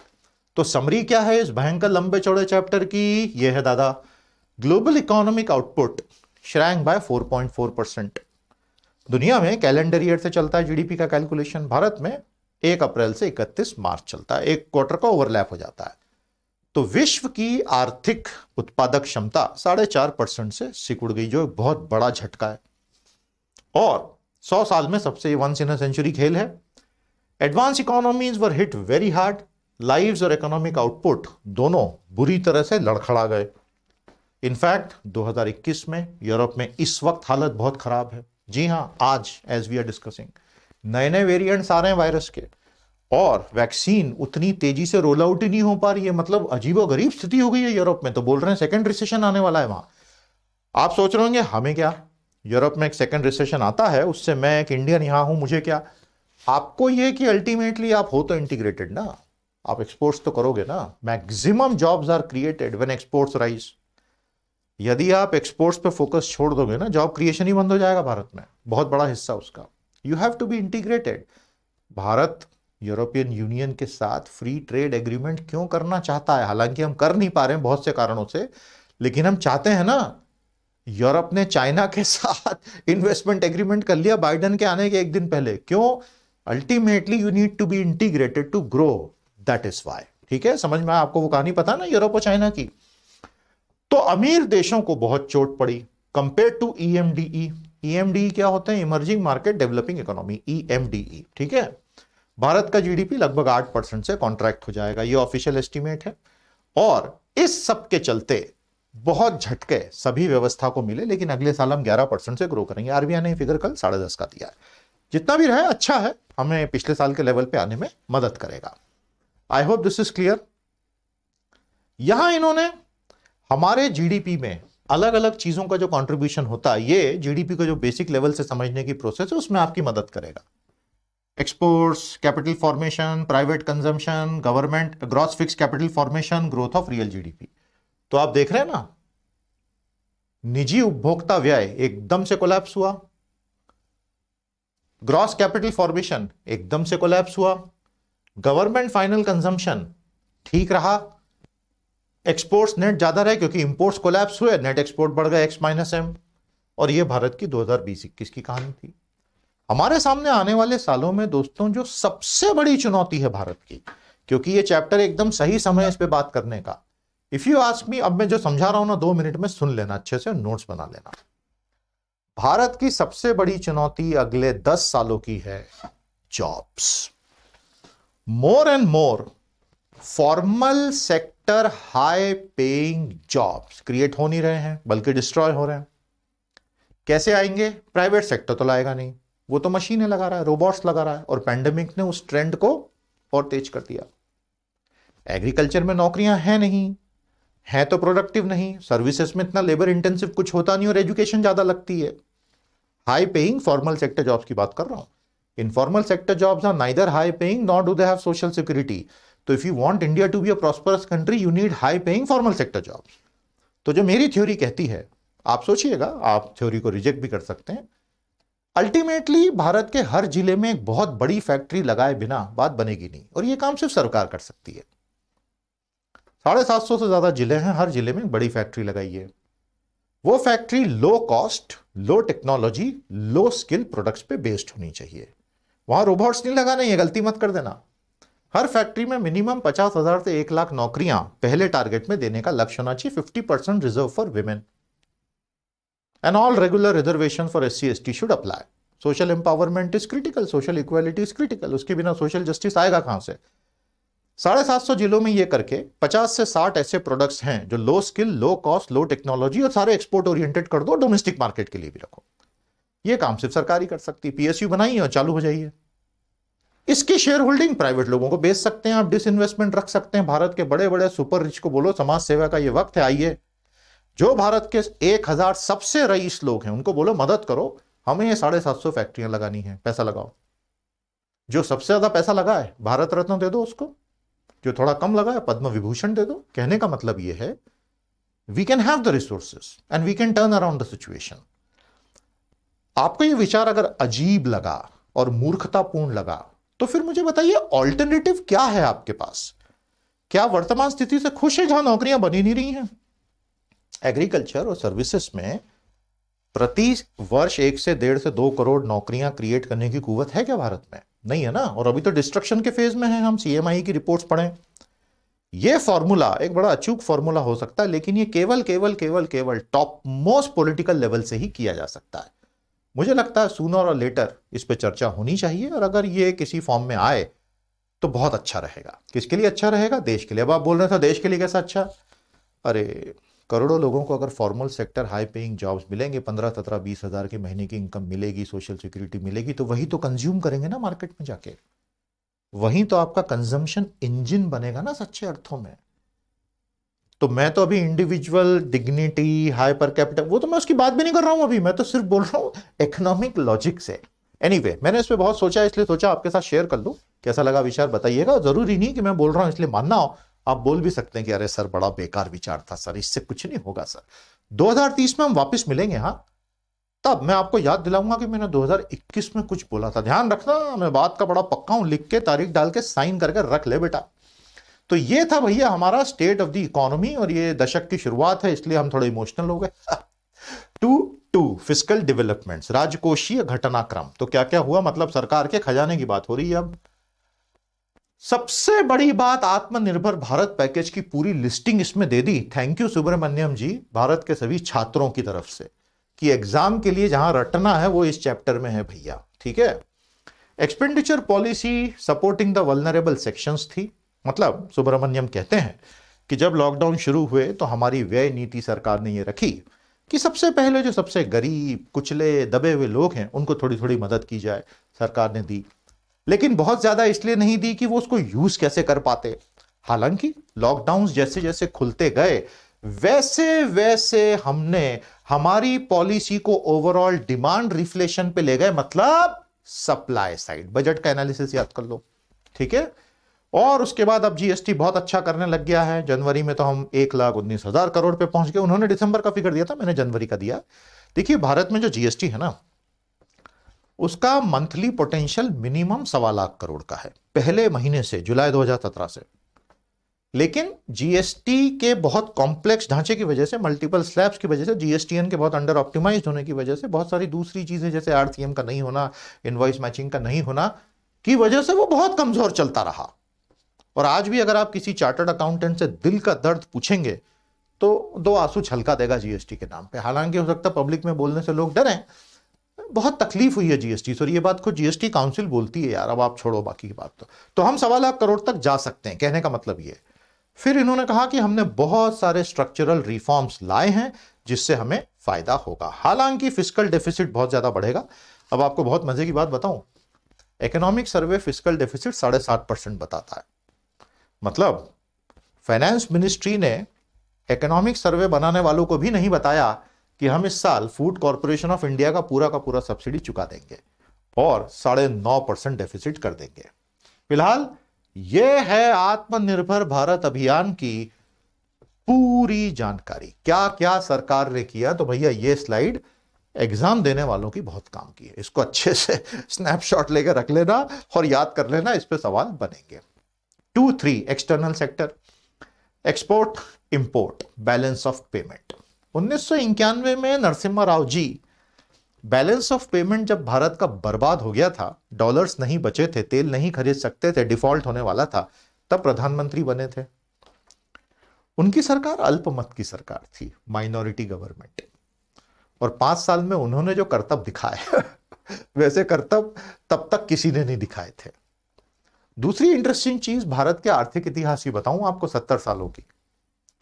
The best rates of economic growth have been found during either minority governments और coalition governments not during majority governments मेरे बोलने पे मत जाओ। इकोनॉमिक हिस्ट्री उठा के स्टडी करके देख लो। आपको सारी बातें समझ में आएँगी और उसमें एक बहुत डीप मैसेज भी छुपा हुआ भारत की प्रवृत्ति को लेके। एनीवे anyway, भारत का ट्रेड बैलेंस चाइना के साथ, अमेरिका के साथ, दोनों के साथ रातों रात सुधर गया, क्योंकि हमारे इंपोर्ट्स क्रैश हो गए। जैसे ही इंपोर्ट्स क्रैश हुए एक्सपोर्ट्स पैरेलल में उतने क्रैश नहीं हुए थे। तो जो डेफिसिट चला करता था, वो सरप्लस में तब्दील हो गया। इसको सेलिब्रेट भी किया सरकार ने। हालाँकि rising deficit rising surplus on trade front actually indicates a dangerous signal of the GDP slowing down because the factories demands are reducing which will translate into lesser production in the coming quarters but दिखाने के लिए एक surplus रहता है तो अच्छा लगता है। बहुत सारे एक्सपोर्ट्स हमारे इस दौरान सुधरे, उसकी लिस्ट यहाँ दी हुई है। और फार्मा में तो कम से कम हम आगे और बहुत अच्छा करेंगे। वैक्सीनेशन से और हमारा नाम अच्छा बना है। हम हमेशा से लीडर रही थे, आधे से ज़्यादा दुनिया की वैक्सीन भारत में बनती है। और करंट अकाउंट का सरप्लस सत्रह साल के बाद इस साल पहली बार आएगा। लार्जली क्योंकि हमारे इंपोर्ट्स क्रैश हो गए हैं। तब आप बोलेंगे, सर इंपोर्ट्स का क्या लेना देना जीडीपी से? भारत में लाखों फैक्ट्रियाँ हैं जो प्रोडक्ट्स बनाती हैं तो पहले रॉ मटेरियल इंपोर्ट होता है, फिर एक्सपोर्ट होता है। इसी को कहते हैं इंपोर्ट इंटेंसिटी ऑफ़ एक्सपोर्ट्स निर्यात में मौजूदा आयात। तो आप जितने आयात गिराओगे, उतने आपके एक्सपोर्ट्स भी कम होते, क्योंकि उतना रॉ मटेरियल उतने तरीके का रॉ मटेरियल भारत में अवेलेबल ही नहीं है। समझ में आया? और वो करने में कई साल लगेंगे। तो एक फेस चेंज की भी कीमत आपको पे करनी पड़ती है। तो ये हो गई बात आपकी ट्रेड बैलेंस की और current account surplus after seventeen years की तो बधाई हो भैया। और ये इसको इन्होंने समझाने की कोशिश की है। टू फोर पर आते हैं monetary management and financial intermediation RBI और बैंकों की बात हो रही है। इसमें इनका कहना यह है कि भैया, हमने बहुत अच्छा काम किया। कैसे अच्छा काम किया? आरबीआई अप्रैल और मई 2020 में मैदान में कूदा। और आरबीआई को यह बोल दिया था सरकार ने कि भाई मदद करो। अब आरबीआई कैसे मदद करेगा? रेपो रेट कम करेगा, सीआरआर एसएलआर घटाएगा, लिक्विडिटी को अनकन्वेंशनल तरीकों से पुश करेगा L T R O T L T R O O M O operation और कोशिश करेगा पैसा पैसा पैसा पैसा के पैसा है, नहीं कोई ऐसा हाँ बहुत खूबसूरत गीत बनाया यार, बॉलीवुड नहीं होता तो क्या होता पता नहीं इस देश का। तो पैसा आरबीआई ने लिक्विडिटी के रूप में अवेलेबल करा दिया कि लोन ले लो। It was a stimulus it was availability of liquidity for companies to take loans जो चुकाने पड़ेंगे इंटरेस्ट के साथ में। Systemic liquidity remained in surplus हमारे सिस्टम में मौजूद तरलता आरबीआई ने बढ़ा दी। वो अभी भी सरप्लस लिक्विडिटी है छह लाख करोड़ की। बैंक लैंड नहीं कर पा रहे हैं। एक तो बैंक लैंड करना नहीं चाहते और दूसरा, इतने अच्छे प्रोजेक्ट्स ही नहीं आ रहे हैं which is actually a some signal RBI ने बहुत सारे पारंपरिक और गैर पारंपरिक तरीकों से O M O L T R O T L T R O से लिक्विडिटी को बढ़ाया बढ़ाया बढ़ाया. लेकिन बैंकों की जो क्रेडिट ग्रोथ होती है, हर साल वो जो ऋण देते हैं इंडस्ट्री को सर्विसेज़ को और अलग. Basically food and non food credit दो तरीके से देखा जाता है, वो पूरी एक इक्वेशन होती है. वो 6.7 परसेंट से ही ग्रो हुई, उससे ज़्यादा से ग्रो नहीं हुई. Bank credit growth to non food sector, गैर खाद्य क्षेत्र में बैंकों के ऋण की वृद्धि, एक बहुत बड़ा इंडिकेटर होती है आने वाले समय में जीडीपी की बॉयंसी की। अगर यह तेज़ी से बढ़ रहा है मतलब आने वाले समय में जीडीपी के तेज़ी से बढ़ने की संभावना बहुत अच्छी है, क्योंकि ऋण लिया गया है specially not the personal loans बाकी के तो ऑटोमेटिकली वो किसी प्रोडक्टिव एक्टिविटी में लगेगा। समझ में आया? कंजम्पशन के अलावा की बात कर रहा हूँ। The credit of tech witness a broad based slow down लेकिन हमारे स्टॉक मार्केट छत तोड़ के निकल गए। उसके पाँच कारण मैं आपको पिछले सेशन में गिना चुका हूँ। तो मैं चाहूँगा कि आप में से कोई मुझे जल्दी से बताए कि what have been the top three reason for the massive buoyancy in the Indian stock markets even as the real economy tank और ये सारी दुनिया में हो रहा है, ठीक है? वैसे आज आज आज बिटकॉइन छत तोड़ के निकल गया है। तो ये दुनिया में बड़ा मज़ेदार समय चल रहा है, जहाँ एक तरफ़ क्रिप्टो करेंसी आगे बढ़ रही है। अब मैं एक भविष्यवाणी कर देता हूँ आज आपके साथ। अभी कल हमारे प्यारे शक्तिकांत दास बाबू ने क्या बोला कि रिटेल इन्वेस्टर्स गवर्नमेंट सिक्योरिटी में इन्वेस्ट कर सकते हैं। यस और नो बहुत बड़ी घोषणा है, लोगों ने उसको सही ढंग से समझा नहीं अभी। दोस्तों, अगर रिटेल इन्वेस्टर गवर्नमेंट सिक्योरिटी में इन्वेस्ट कर सकता है डायरेक्टली जीसेक्स में इसका मतलब आज मैं डायरेक्टली आरबीआई से डील कर सकता हूँ। For the first time in the history of India अभी तक मैं बैंकों में डील करता था। कंपनियों में डील करता था। मनी मार्क अब मैं डायरेक्टली आरबीआई से गवर्नमेंट के जी सेक्स खरीद सकता हूँ। This could be the RBI plan of ultimately moving towards the central bank digital currency CBDC आगे आगे देखिए, होता है क्या? हम तो यही हैं, पढ़ाते रहेंगे, आपको चिंता मत करो। अगले दस साल तक पढ़ाऊँगा। चैप्टर फाइव पर आते हैं प्राइसेस एंड इन्फ्लेशन पूरा साल परेशानी का रहा, क्योंकि इन्फ्लेशन बहुत ज़्यादा रहा। लेकिन साल समाप्त होते होते लॉकडाउन हटे तो सप्लाई शॉक्स कम हुए और प्राइसेस का मॉडरेशन हुआ। एटलीस्ट थ्योरी में तो ऐसा दिख ही रहा है। और जनवरी आते आते आरबीआई की सांस में सांस आई। और धीरे धीरे सीपीआई कम हो गया। सीपीआई बेस्ड इन्फ्लेशन इंडेक्स कम हो गए। हेडलाइन सीपीआई इन्फ्लेशन आरबीआई के, जो 2016 में कानून बना के 4 percent plus minus two percent की रेंज दी गई थी, उससे ज़्यादा रहा 6.6 परसेंट और तब लोग ये बोलने लग गए कि ये पूरा का पूरा फ्लेक्सिबल इन्फ्लेशन टारगेटिंग भारत सरकार अब बदल देगी कानून लाके या ऑर्डिनेंस लाके, और उसको फोर प्लस माइनस टू की बजाय फाइव प्लस माइनस टू कर देगी। लेकिन कुछ नहीं किया सरकार ने, उसको वैसा का वैसा छोड़ दिया। Which was a wise move और it was 4.6 percent in December it was driven by rise in food inflation सबसे बड़ा, क्योंकि ये वोलेटाइल होता है नॉन फ़ूड नॉन फ्यूल जो होता है, वो लेस वोलेटाइल कोर हो जाता है कोर इन्फ्लेशन और फ़िलहाल वो काफ़ी कम हो गया है। तो आरबीआई को थोड़ा सा ठीक लग रहा है अब, और इसीलिए अकोमोडेटिव पॉलिसी स्टैंड रखा है रेपो रेट को, अभी चेंज भी नहीं किया फरवरी में, क्योंकि अब इन्फ्लेशन थोड़ा सा कम होता दिख रहा है। इसकी जो असली मार पड़ती है, दोस्तों, पता है किस पे पड़ती है? भारत के वो बहुसंख्य लोगों की जो बैंकों में फिक्स डिपॉजिट करते हैं। आपके मम्मी पापा ने भी किया, आपने भी किया होगा। फाइनेंशियल रिप्रेशन बहुत ज़्यादा है भारत में, यानी वित्तीय दमन। क्या होता है वित्तीय दमन? बैंकों में पैसा जमा करने वालों पर अत्याचार। तेरा इमोशनल अत्याचार। बैंक डिपॉजिट रेट लगातार घटाते जा रहे हैं, क्योंकि उनका कहना है कि हमको लेंडिंग रेट घटाना है, क्योंकि आरबीआई रेपो रेट कम कर रहा है। और इन्फ्लेशन लगातार बढ़ता जा रहा है। तो मुझे मेरे डिपॉजिट पे जो पैसा मिला, माइनस इन्फ्लेशन रेट तो मैं तो माइनस में चला गया हूँ तो real rate of return in India is negative तो आपने बैंकों में अगर फिक्स डिपॉजिट में पैसा रखा है तो आपकी कैपिटल कम हो रही है, बढ़ नहीं रही है, इसको फाइनेंशियल रिप्रेशन कहते हैं। और भारत में बैंकों से लोन लेने वाला एक आदमी है तो बैंकों में डिपॉजिट करने वाले पाँच आदमी है। लेकिन सरकार की सारी नीति बोरोवर्स के लिए बनती है डिपॉजिटर्स के लिए नहीं बनती है। ऐसा क्यों? सरकार से पूछो जाके, मेरे पास जवाब नहीं उसका। तो एक बार कमेंट थ्रेड में फाइनेंशियल रिप्रेशन समझा देना भैया, इंतज़ार कर रहा हूँ। समझ में आ गई इन्फ्लेशन की पूरी कहानी? और ये उसका चार्ट है। लंबा चैप्टर है यार, बहुत ये sustainable development and climate change अंततः मानवता के सामने 2030 के बाद जो एकमात्र संकट बचने वाला है, बात करने लायक, उसकी बात आई गई। सर, क्या बात कर रहे हो? हाँ हाँ। क्लाइमेट चेंज को जिन लोगों ने अभी हल्के फुल्के में लिया है डोनाल्ड ट्रंप जैसे उनका तो क्लाइमेट ही चेंज हो गया। Where's global warming? There's no global warming. Why is? आदमी ऐसी बातें करता था यार। उसको वेदर और क्लाइमेट के बीच का अंतर ही नहीं पता है। पोलर वोटेक्स क्यों ढीला होकर नीचे आ गया? क्योंकि कैसे हीट का ट्रांसफ़र हुआ? ग्लोबल वार्मिंग से ये उसको पता ही नहीं और कोई उसको बता ही नहीं रहा है। Excessive cold waves are created because of the heat mass moving in different waves because of global warming ये उनको कोई बताने वाला नहीं था उनकी टीम में। तो global warming is a reality दस साल के बाद आप और हम भारत के तटीय इलाकों में सी लेवल राइज की बात कर रहे होंगे। 2030 में भारत के अखबारों में फ्रंट पेज पर मुंबई में लोग प्रॉपर्टी बेच बेच के भाग रहे हैं कि खबरें आना शुरू हो सकती हैं। तीस में नहीं तो पैंतीस में होंगी। अरे भाई सी लेवल जब बढ़ने लगेगा, तुम कितने डाइक्स लगा लोगे? कितना कंक्रीट डाल लोगे? नहीं डाल सकते। और ये हमारी अल्टीमेट क्राइसिस इलॉन मस्क ने 100 मिलियन डॉलर का प्राइस ऐसी थोड़ी घोषित किया है कि कैसे एटमोस्फेरिक कार्बन को कैप्चर कर सकते हैं। Human beings are extremely resourceful हम लोग रास्ते निकाल देते हैं। मेरी ये सारी भविष्यवाणियाँ गलत हो जाएँगी अगर किसी ने ऐसी मशीन बना दी जो सीधे जीएचजी को एब्जॉर्ब कर लेती है।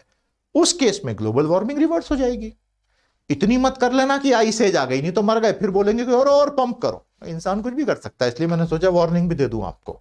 चेहरे पे मुस्कान आई कि नहीं तुम्हारे? नहीं आई तो मतलब सो रहे हो तुम। जाओ जाके सो जाओ भैया। सस्टेनेबल डेवलपमेंट भारत की काफ़ी तारीफ़ की गई है उसमें। तारीफ़ करनी भी होगी। तीन चार चीज़ों पे बात हुई है। ये बहुत अच्छी समरी आपके काम की है। भारत पेरिस क्लाइमेट डील के प्रति प्रतिबद्ध है। हमने अपने नेशनली डिटर्मिन कंट्रीब्यूशन दे दिए, जो इस साल से लागू भी हो गए हैं। और भारत ने 2030 के लिए बहुत सारे कमिटमेंट किए लेकिन जितने अमीर देश हैं, बदमाशी पर आ गए हैं। क्लाइमेट फाइनेंसिंग कर नहीं रहे बेसिकली क्या होता है दोस्तों, भारत ये बोलता है कि हमने जितना भी किया है, दुनिया के सारे देशों में पेरिस क्लाइमेट डील बोलती है we have shared but differentiated responsibility हमारी शेयर डेस्टिनी है, हम सब एक ही प्लेनेट पे रहते हैं। लेकिन डिफरेंशिएटेड है क्योंकि अमीर देशों ने ज़्यादा जीएचजी छोड़ा, सौ साल में ज़्यादा गैस छोड़ी। भारत ने उतनी गैस नहीं छोड़ी, वैसे आजकल बहुत गैस छोड़ते हैं लोग सोशल मीडिया में। तो भारत ने उतनी गैस नहीं छोड़ी है जीएचजी तो हमारा स्टॉक में कंट्रीब्यूशन कम है, तुम्हारा ज़्यादा है तो तुम फाइनेंसिंग करो। अमीर देश गलियाँ निकाल के फाइनेंसिंग से बच रहे हैं। तो humanity when it comes to abstract long term far away problem इतनी अच्छी है नहीं लड़ने में। फिर भी कोशिशें तो जारी है। तो भारत के कमिटमेंट क्या है भैया बेस्ट एफर्ट बेसिस पे? 2030 तक मैं अपने जीडीपी का एमिशन इंटेंसिटी 35 परसेंट कम कर दूँगा 2005 के मुकाबले। ये पहली चीज़ है, याद रख लेना। 2030 तक मेरे यहाँ बनने वाली बिजली में 40 परसेंट रिन्यूएबल से आएगा। और 2030 तक मैं ढाई से तीन बिलियन टन कार्बन डाइऑक्साइड सोख लेने वाले फॉरेस्ट पैदा कर दूँगा।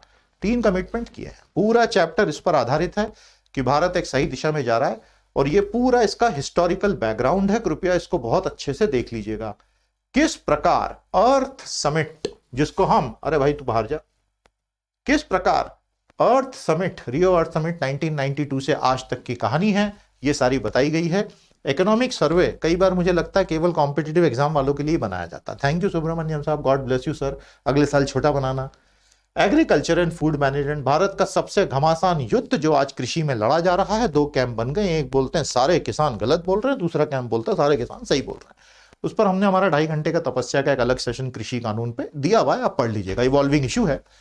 एग्रीकल्चर और फ़ूड मैनेजमेंट को लेकर आपने बहुत अच्छी अच्छी चीज़ें बताई हैं। पहली चीज़, भारत में 2020 में इंडस्ट्री श्रिंक हो गई सर्विसेज़ श्रिंक हो गई।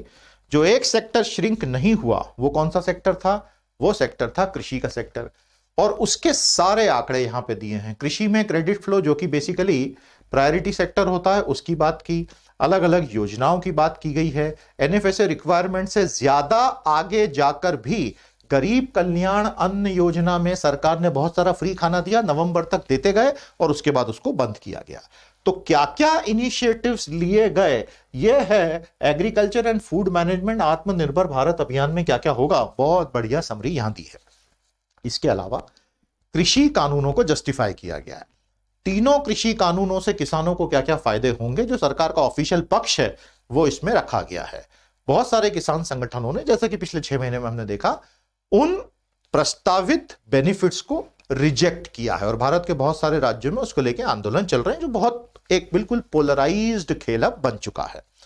आगे चलते हैं चैप्टर नंबर एट पाँच मिनट में कंप्लीट करता हूँ इंडस्ट्री एंड इंफ्रास्ट्रक्चर मैं आपको जो यहाँ एक चार्ट दे रहा हूँ, ये जो मैंने आपको सॉल्यूशन बताया था जॉब्स का, इस लाइट में, अब समझ में आएगा आपको। अभी दस मिनट पहले मैंने आपको क्या बताया, भारत की सबसे बड़ी समस्या क्या है? Inadequate number of high paying industrial sector formal sector jobs ठीक है? अब जरा इसको ध्यान से देखो और मुझे बोलो कि मैं सही था कि गलत था। अरे सर, आप तो हमेशा सही होते क्या सही मक्खन लगा?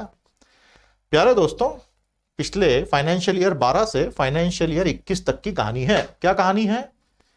मैन्युफैक्चरिंग का शेयर 15 परसेंट पर अटका हुआ है भारत में जीडीपी का। Can you believe it you have to these are official numbers 1991 से 2021 तक मैन्युफैक्चरिंग 15 16 15 16 15 16 परसेंट ऑफ़ जीडीपी पे है। इसीलिए तो नौकरियाँ नहीं बन रही फॉर्मल सेक्टर में।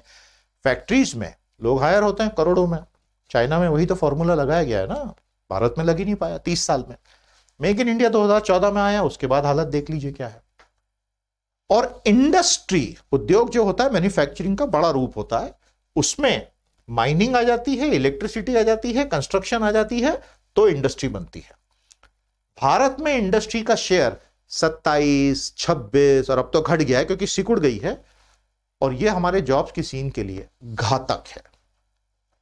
ये एक चार्ट पूरी समरी है भारत में जॉब्स की सिचुएशन की। अब आप बोलेंगे सर ऐसी क्या विशेष बात है? सर्विसेज़ में जॉब नहीं होती कुल मिला के 48 लाख आईटी प्रोफेशनल्स हैं भारत में। पता है आपको? भारत की सारी आईटी कंपनीज़ मिला लो 48 लाख आईटी प्रोफेशनल्स हैं, केवल 138 करोड़ के देश में। और पूरे आईटी सेक्टर की टोटल नौकरियाँ हैं डेढ़ करोड़, जिसमें सर्विस स्टाफ आ गया। आपको लगता है आईटी सेक्टर भारत में नौकरियाँ क्रिएट करेगा? किस दुनिया में जी रहे हो? आपको हर ज़िले में एक बड़ी फैक्ट्री लगानी पड़ेगी, जिसमें पाँच पाँच दस दस लाख नौकरियाँ देनी पड़ेगी अल्टीमेटली दस साल में। उसके बिना प्रॉब्लम सॉल्व होने वाली नहीं है। और अगर ये देख के भी मैं आपको नहीं समझा सकता तो फिर मेरे समझाने में कहीं कमी हो गई, ऐसा लगता है। I feel slightly emotional about it because I can see what would happen over the next ten years hence ये कहानी है। सरकार ने कोशिशें बहुत की है।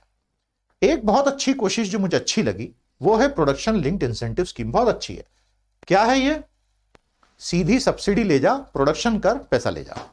दैट्स इट दस सेक्टर्स में बोला, भाई, इस लेवल तक आप प्रोडक्शन कीजिए, ये तीन शर्तें हैं। पैसा ले लो सब्सिडी सीधे सब्सिडी जैसे एमएसपी के रूप में होती है, वैसे फैक्ट्रियों को। मेरी एक ही रिक्वेस्ट है सरकार से। यह सब्सिडी देने से पहले कंपनियों पे मिनिमम इतने नई नौकरियाँ दोगे, वो शर्त लगा देना। Otherwise corporates are masters at taking subsidy raising their own profitability by reducing the cost and not creating any new jobs ध्यान रखना सितंबर 2019 में डेढ़ लाख करोड़ की टैक्स सब्सिडी दी थी, ना इन्वेस्टमेंट आया, ना जॉब्स आए। उसके बाद ये डेढ़ लाख करोड़ की नई सब्सिडी आई है, तीन लाख करोड़ की सब्सिडी इंडस्ट्री को दो साल में दे दी गई है। जॉब्स कितने आए? सरकार को ये बार्गेनिंग करनी चाहिए इंडस्ट्री से। उसके बिना क्या होगा? स्टॉक मार्केट आसमान छूते रहेंगे। सब्सिडी मिली कॉस्ट गिरी प्रॉफिट्स बढ़े शेयर तो जो अमीर है वो और अमीर होता चला जा रहा था financial owners not the real world citizen क्या आपको ये बातें समझ में आ रही हैं? अगर आ रही हैं तो आपको ये मूल इश्यू समझ में आ रहे हैं। तो मैंने अभी जो समझाया, वो मेरे को समझा दो एक बार। अब हम समाप्ति की ओर आ रहे हैं सर्विसेज़ की बात कर रहे हैं, जिन्हें सबसे ज़्यादा मार पड़ी, क्योंकि face to face contact services Bharat का पचपन परसेंट है। जीएसटी और सर्विस टैक्स में सरकार इतना कमाती है। लेकिन जो भी हुआ, उसके बावजूद भारत में एफडीआई का फ्लो सर्विसेज़ सेक्टर में बना रहा। Which shows the strength and the belief the world has in India services finally आखिरी चैप्टर जो होना चाहिए था पहला chapter social development human development ये जो एक टेबल है स्नैपशॉट लेकर रख लेना, ये भारत के मानव विकास की पूरी कहानी है। क्या कहता है इकोनॉमिक सर्वे इकोनॉमिक सर्वे ये कहता है कि सेंटर और स्टेट का सामाजिक क्षेत्र का पूरा का पूरा जो व्यय है, वो धीरे धीरे बढ़ रहा है। भारत का एचडीआई रैंक, हमारा ह्यूमन डेवलपमेंट रैंक वन हो गया। बहुत लो रैंक है हमारा। थोड़ा सा हम नीचे खिसक गए हैं। पहले एक दो रैंक ऊपर नीचे खिसकते रहते हैं। 189 में 131 is not something to be proud of और हम कोशिश कर रहे हैं कि एम्प्लॉयमेंट बढ़े। हमने बहुत सारे लेबर लॉस को रैशनलाइज किया है ताकि नौकरियाँ ज़्यादा आए, वगैरह वगैरह वगैरह। ये जो टेबल है, ये अच्छा क्यों है? 2014-15 से लेके 2020-21 तक की बातें की गई। अब शांति से देखिएगा। टोटल सोशल सर्विस सेक्टर में कितना खर्चा हुआ? Education plus health plus all other services इस साल 2020-21 में सरकार ने कितना एक्सपेंडिचर रखा? सेंटर और स्टेट का चौसठ लाख। सोशल सर्विसेज़ में सत्रह लाख। सत्रह लाख में से शिक्षा पे six point seven five lakh, health पे थ्री पॉइंट फाइव वन, बाकी सेवाओं पे थे। अब असली खेल। As a percentage of GDP 8.8 percent जिसमें एजुकेशन है 3.5 हेल्थ है 1.8 ये है काम का टेबल इसलिए इस टेबल को संभाल के रख लेना, आपको बहुत फ़ायदा होगा। Economic survey complete I hope आपको मज़ा आया। तो भैया आप में से क्या है? वॉलंटियर चाहिए मेरे को। वॉलंटियर्स ट्वेंटी चैप्टर्स की जो ट्वेंटी लर्निंग्स हैं एक एक लाइन में कमेंट थ्रेड में लिखो। पूरे बीस की नहीं लिख सकते, पाँच की तो लिखो। कोशिश करो, लिखोगे तो आगे बढ़ोगे सेशन को लाइक और शेयर कर लो फटाफट। इसी के साथ आज का सेशन अब समाप्त करूँगा मैं दोस्तों। हमारे कोर्सेज ज्वाइन करें, इसी वीडियो के नीचे एक ज्वाइन का बटन है। यूट्यूब पे भी ज्वाइन कर सकते हैं, एक महीने के कोर्सेज हैं power of ten C booster और हमारी साइट पे तो अद्भुत कोर्सेज हैं। इकोनॉमी क्रैकर मेरा मंडे से शुरू हो रहा है, ज़रूर ज्वाइन करना, बहुत फ़ायदा होगा। कैसा लगा सेशन बताइएगा सेशन थ्री और फोर के साथ बहुत जल्दी पुनः भेंट करेंगे। आज के लिए इतना ही। के सुब्रमण्यम, जिंदाबाद। नमस्कार, जय हिंद।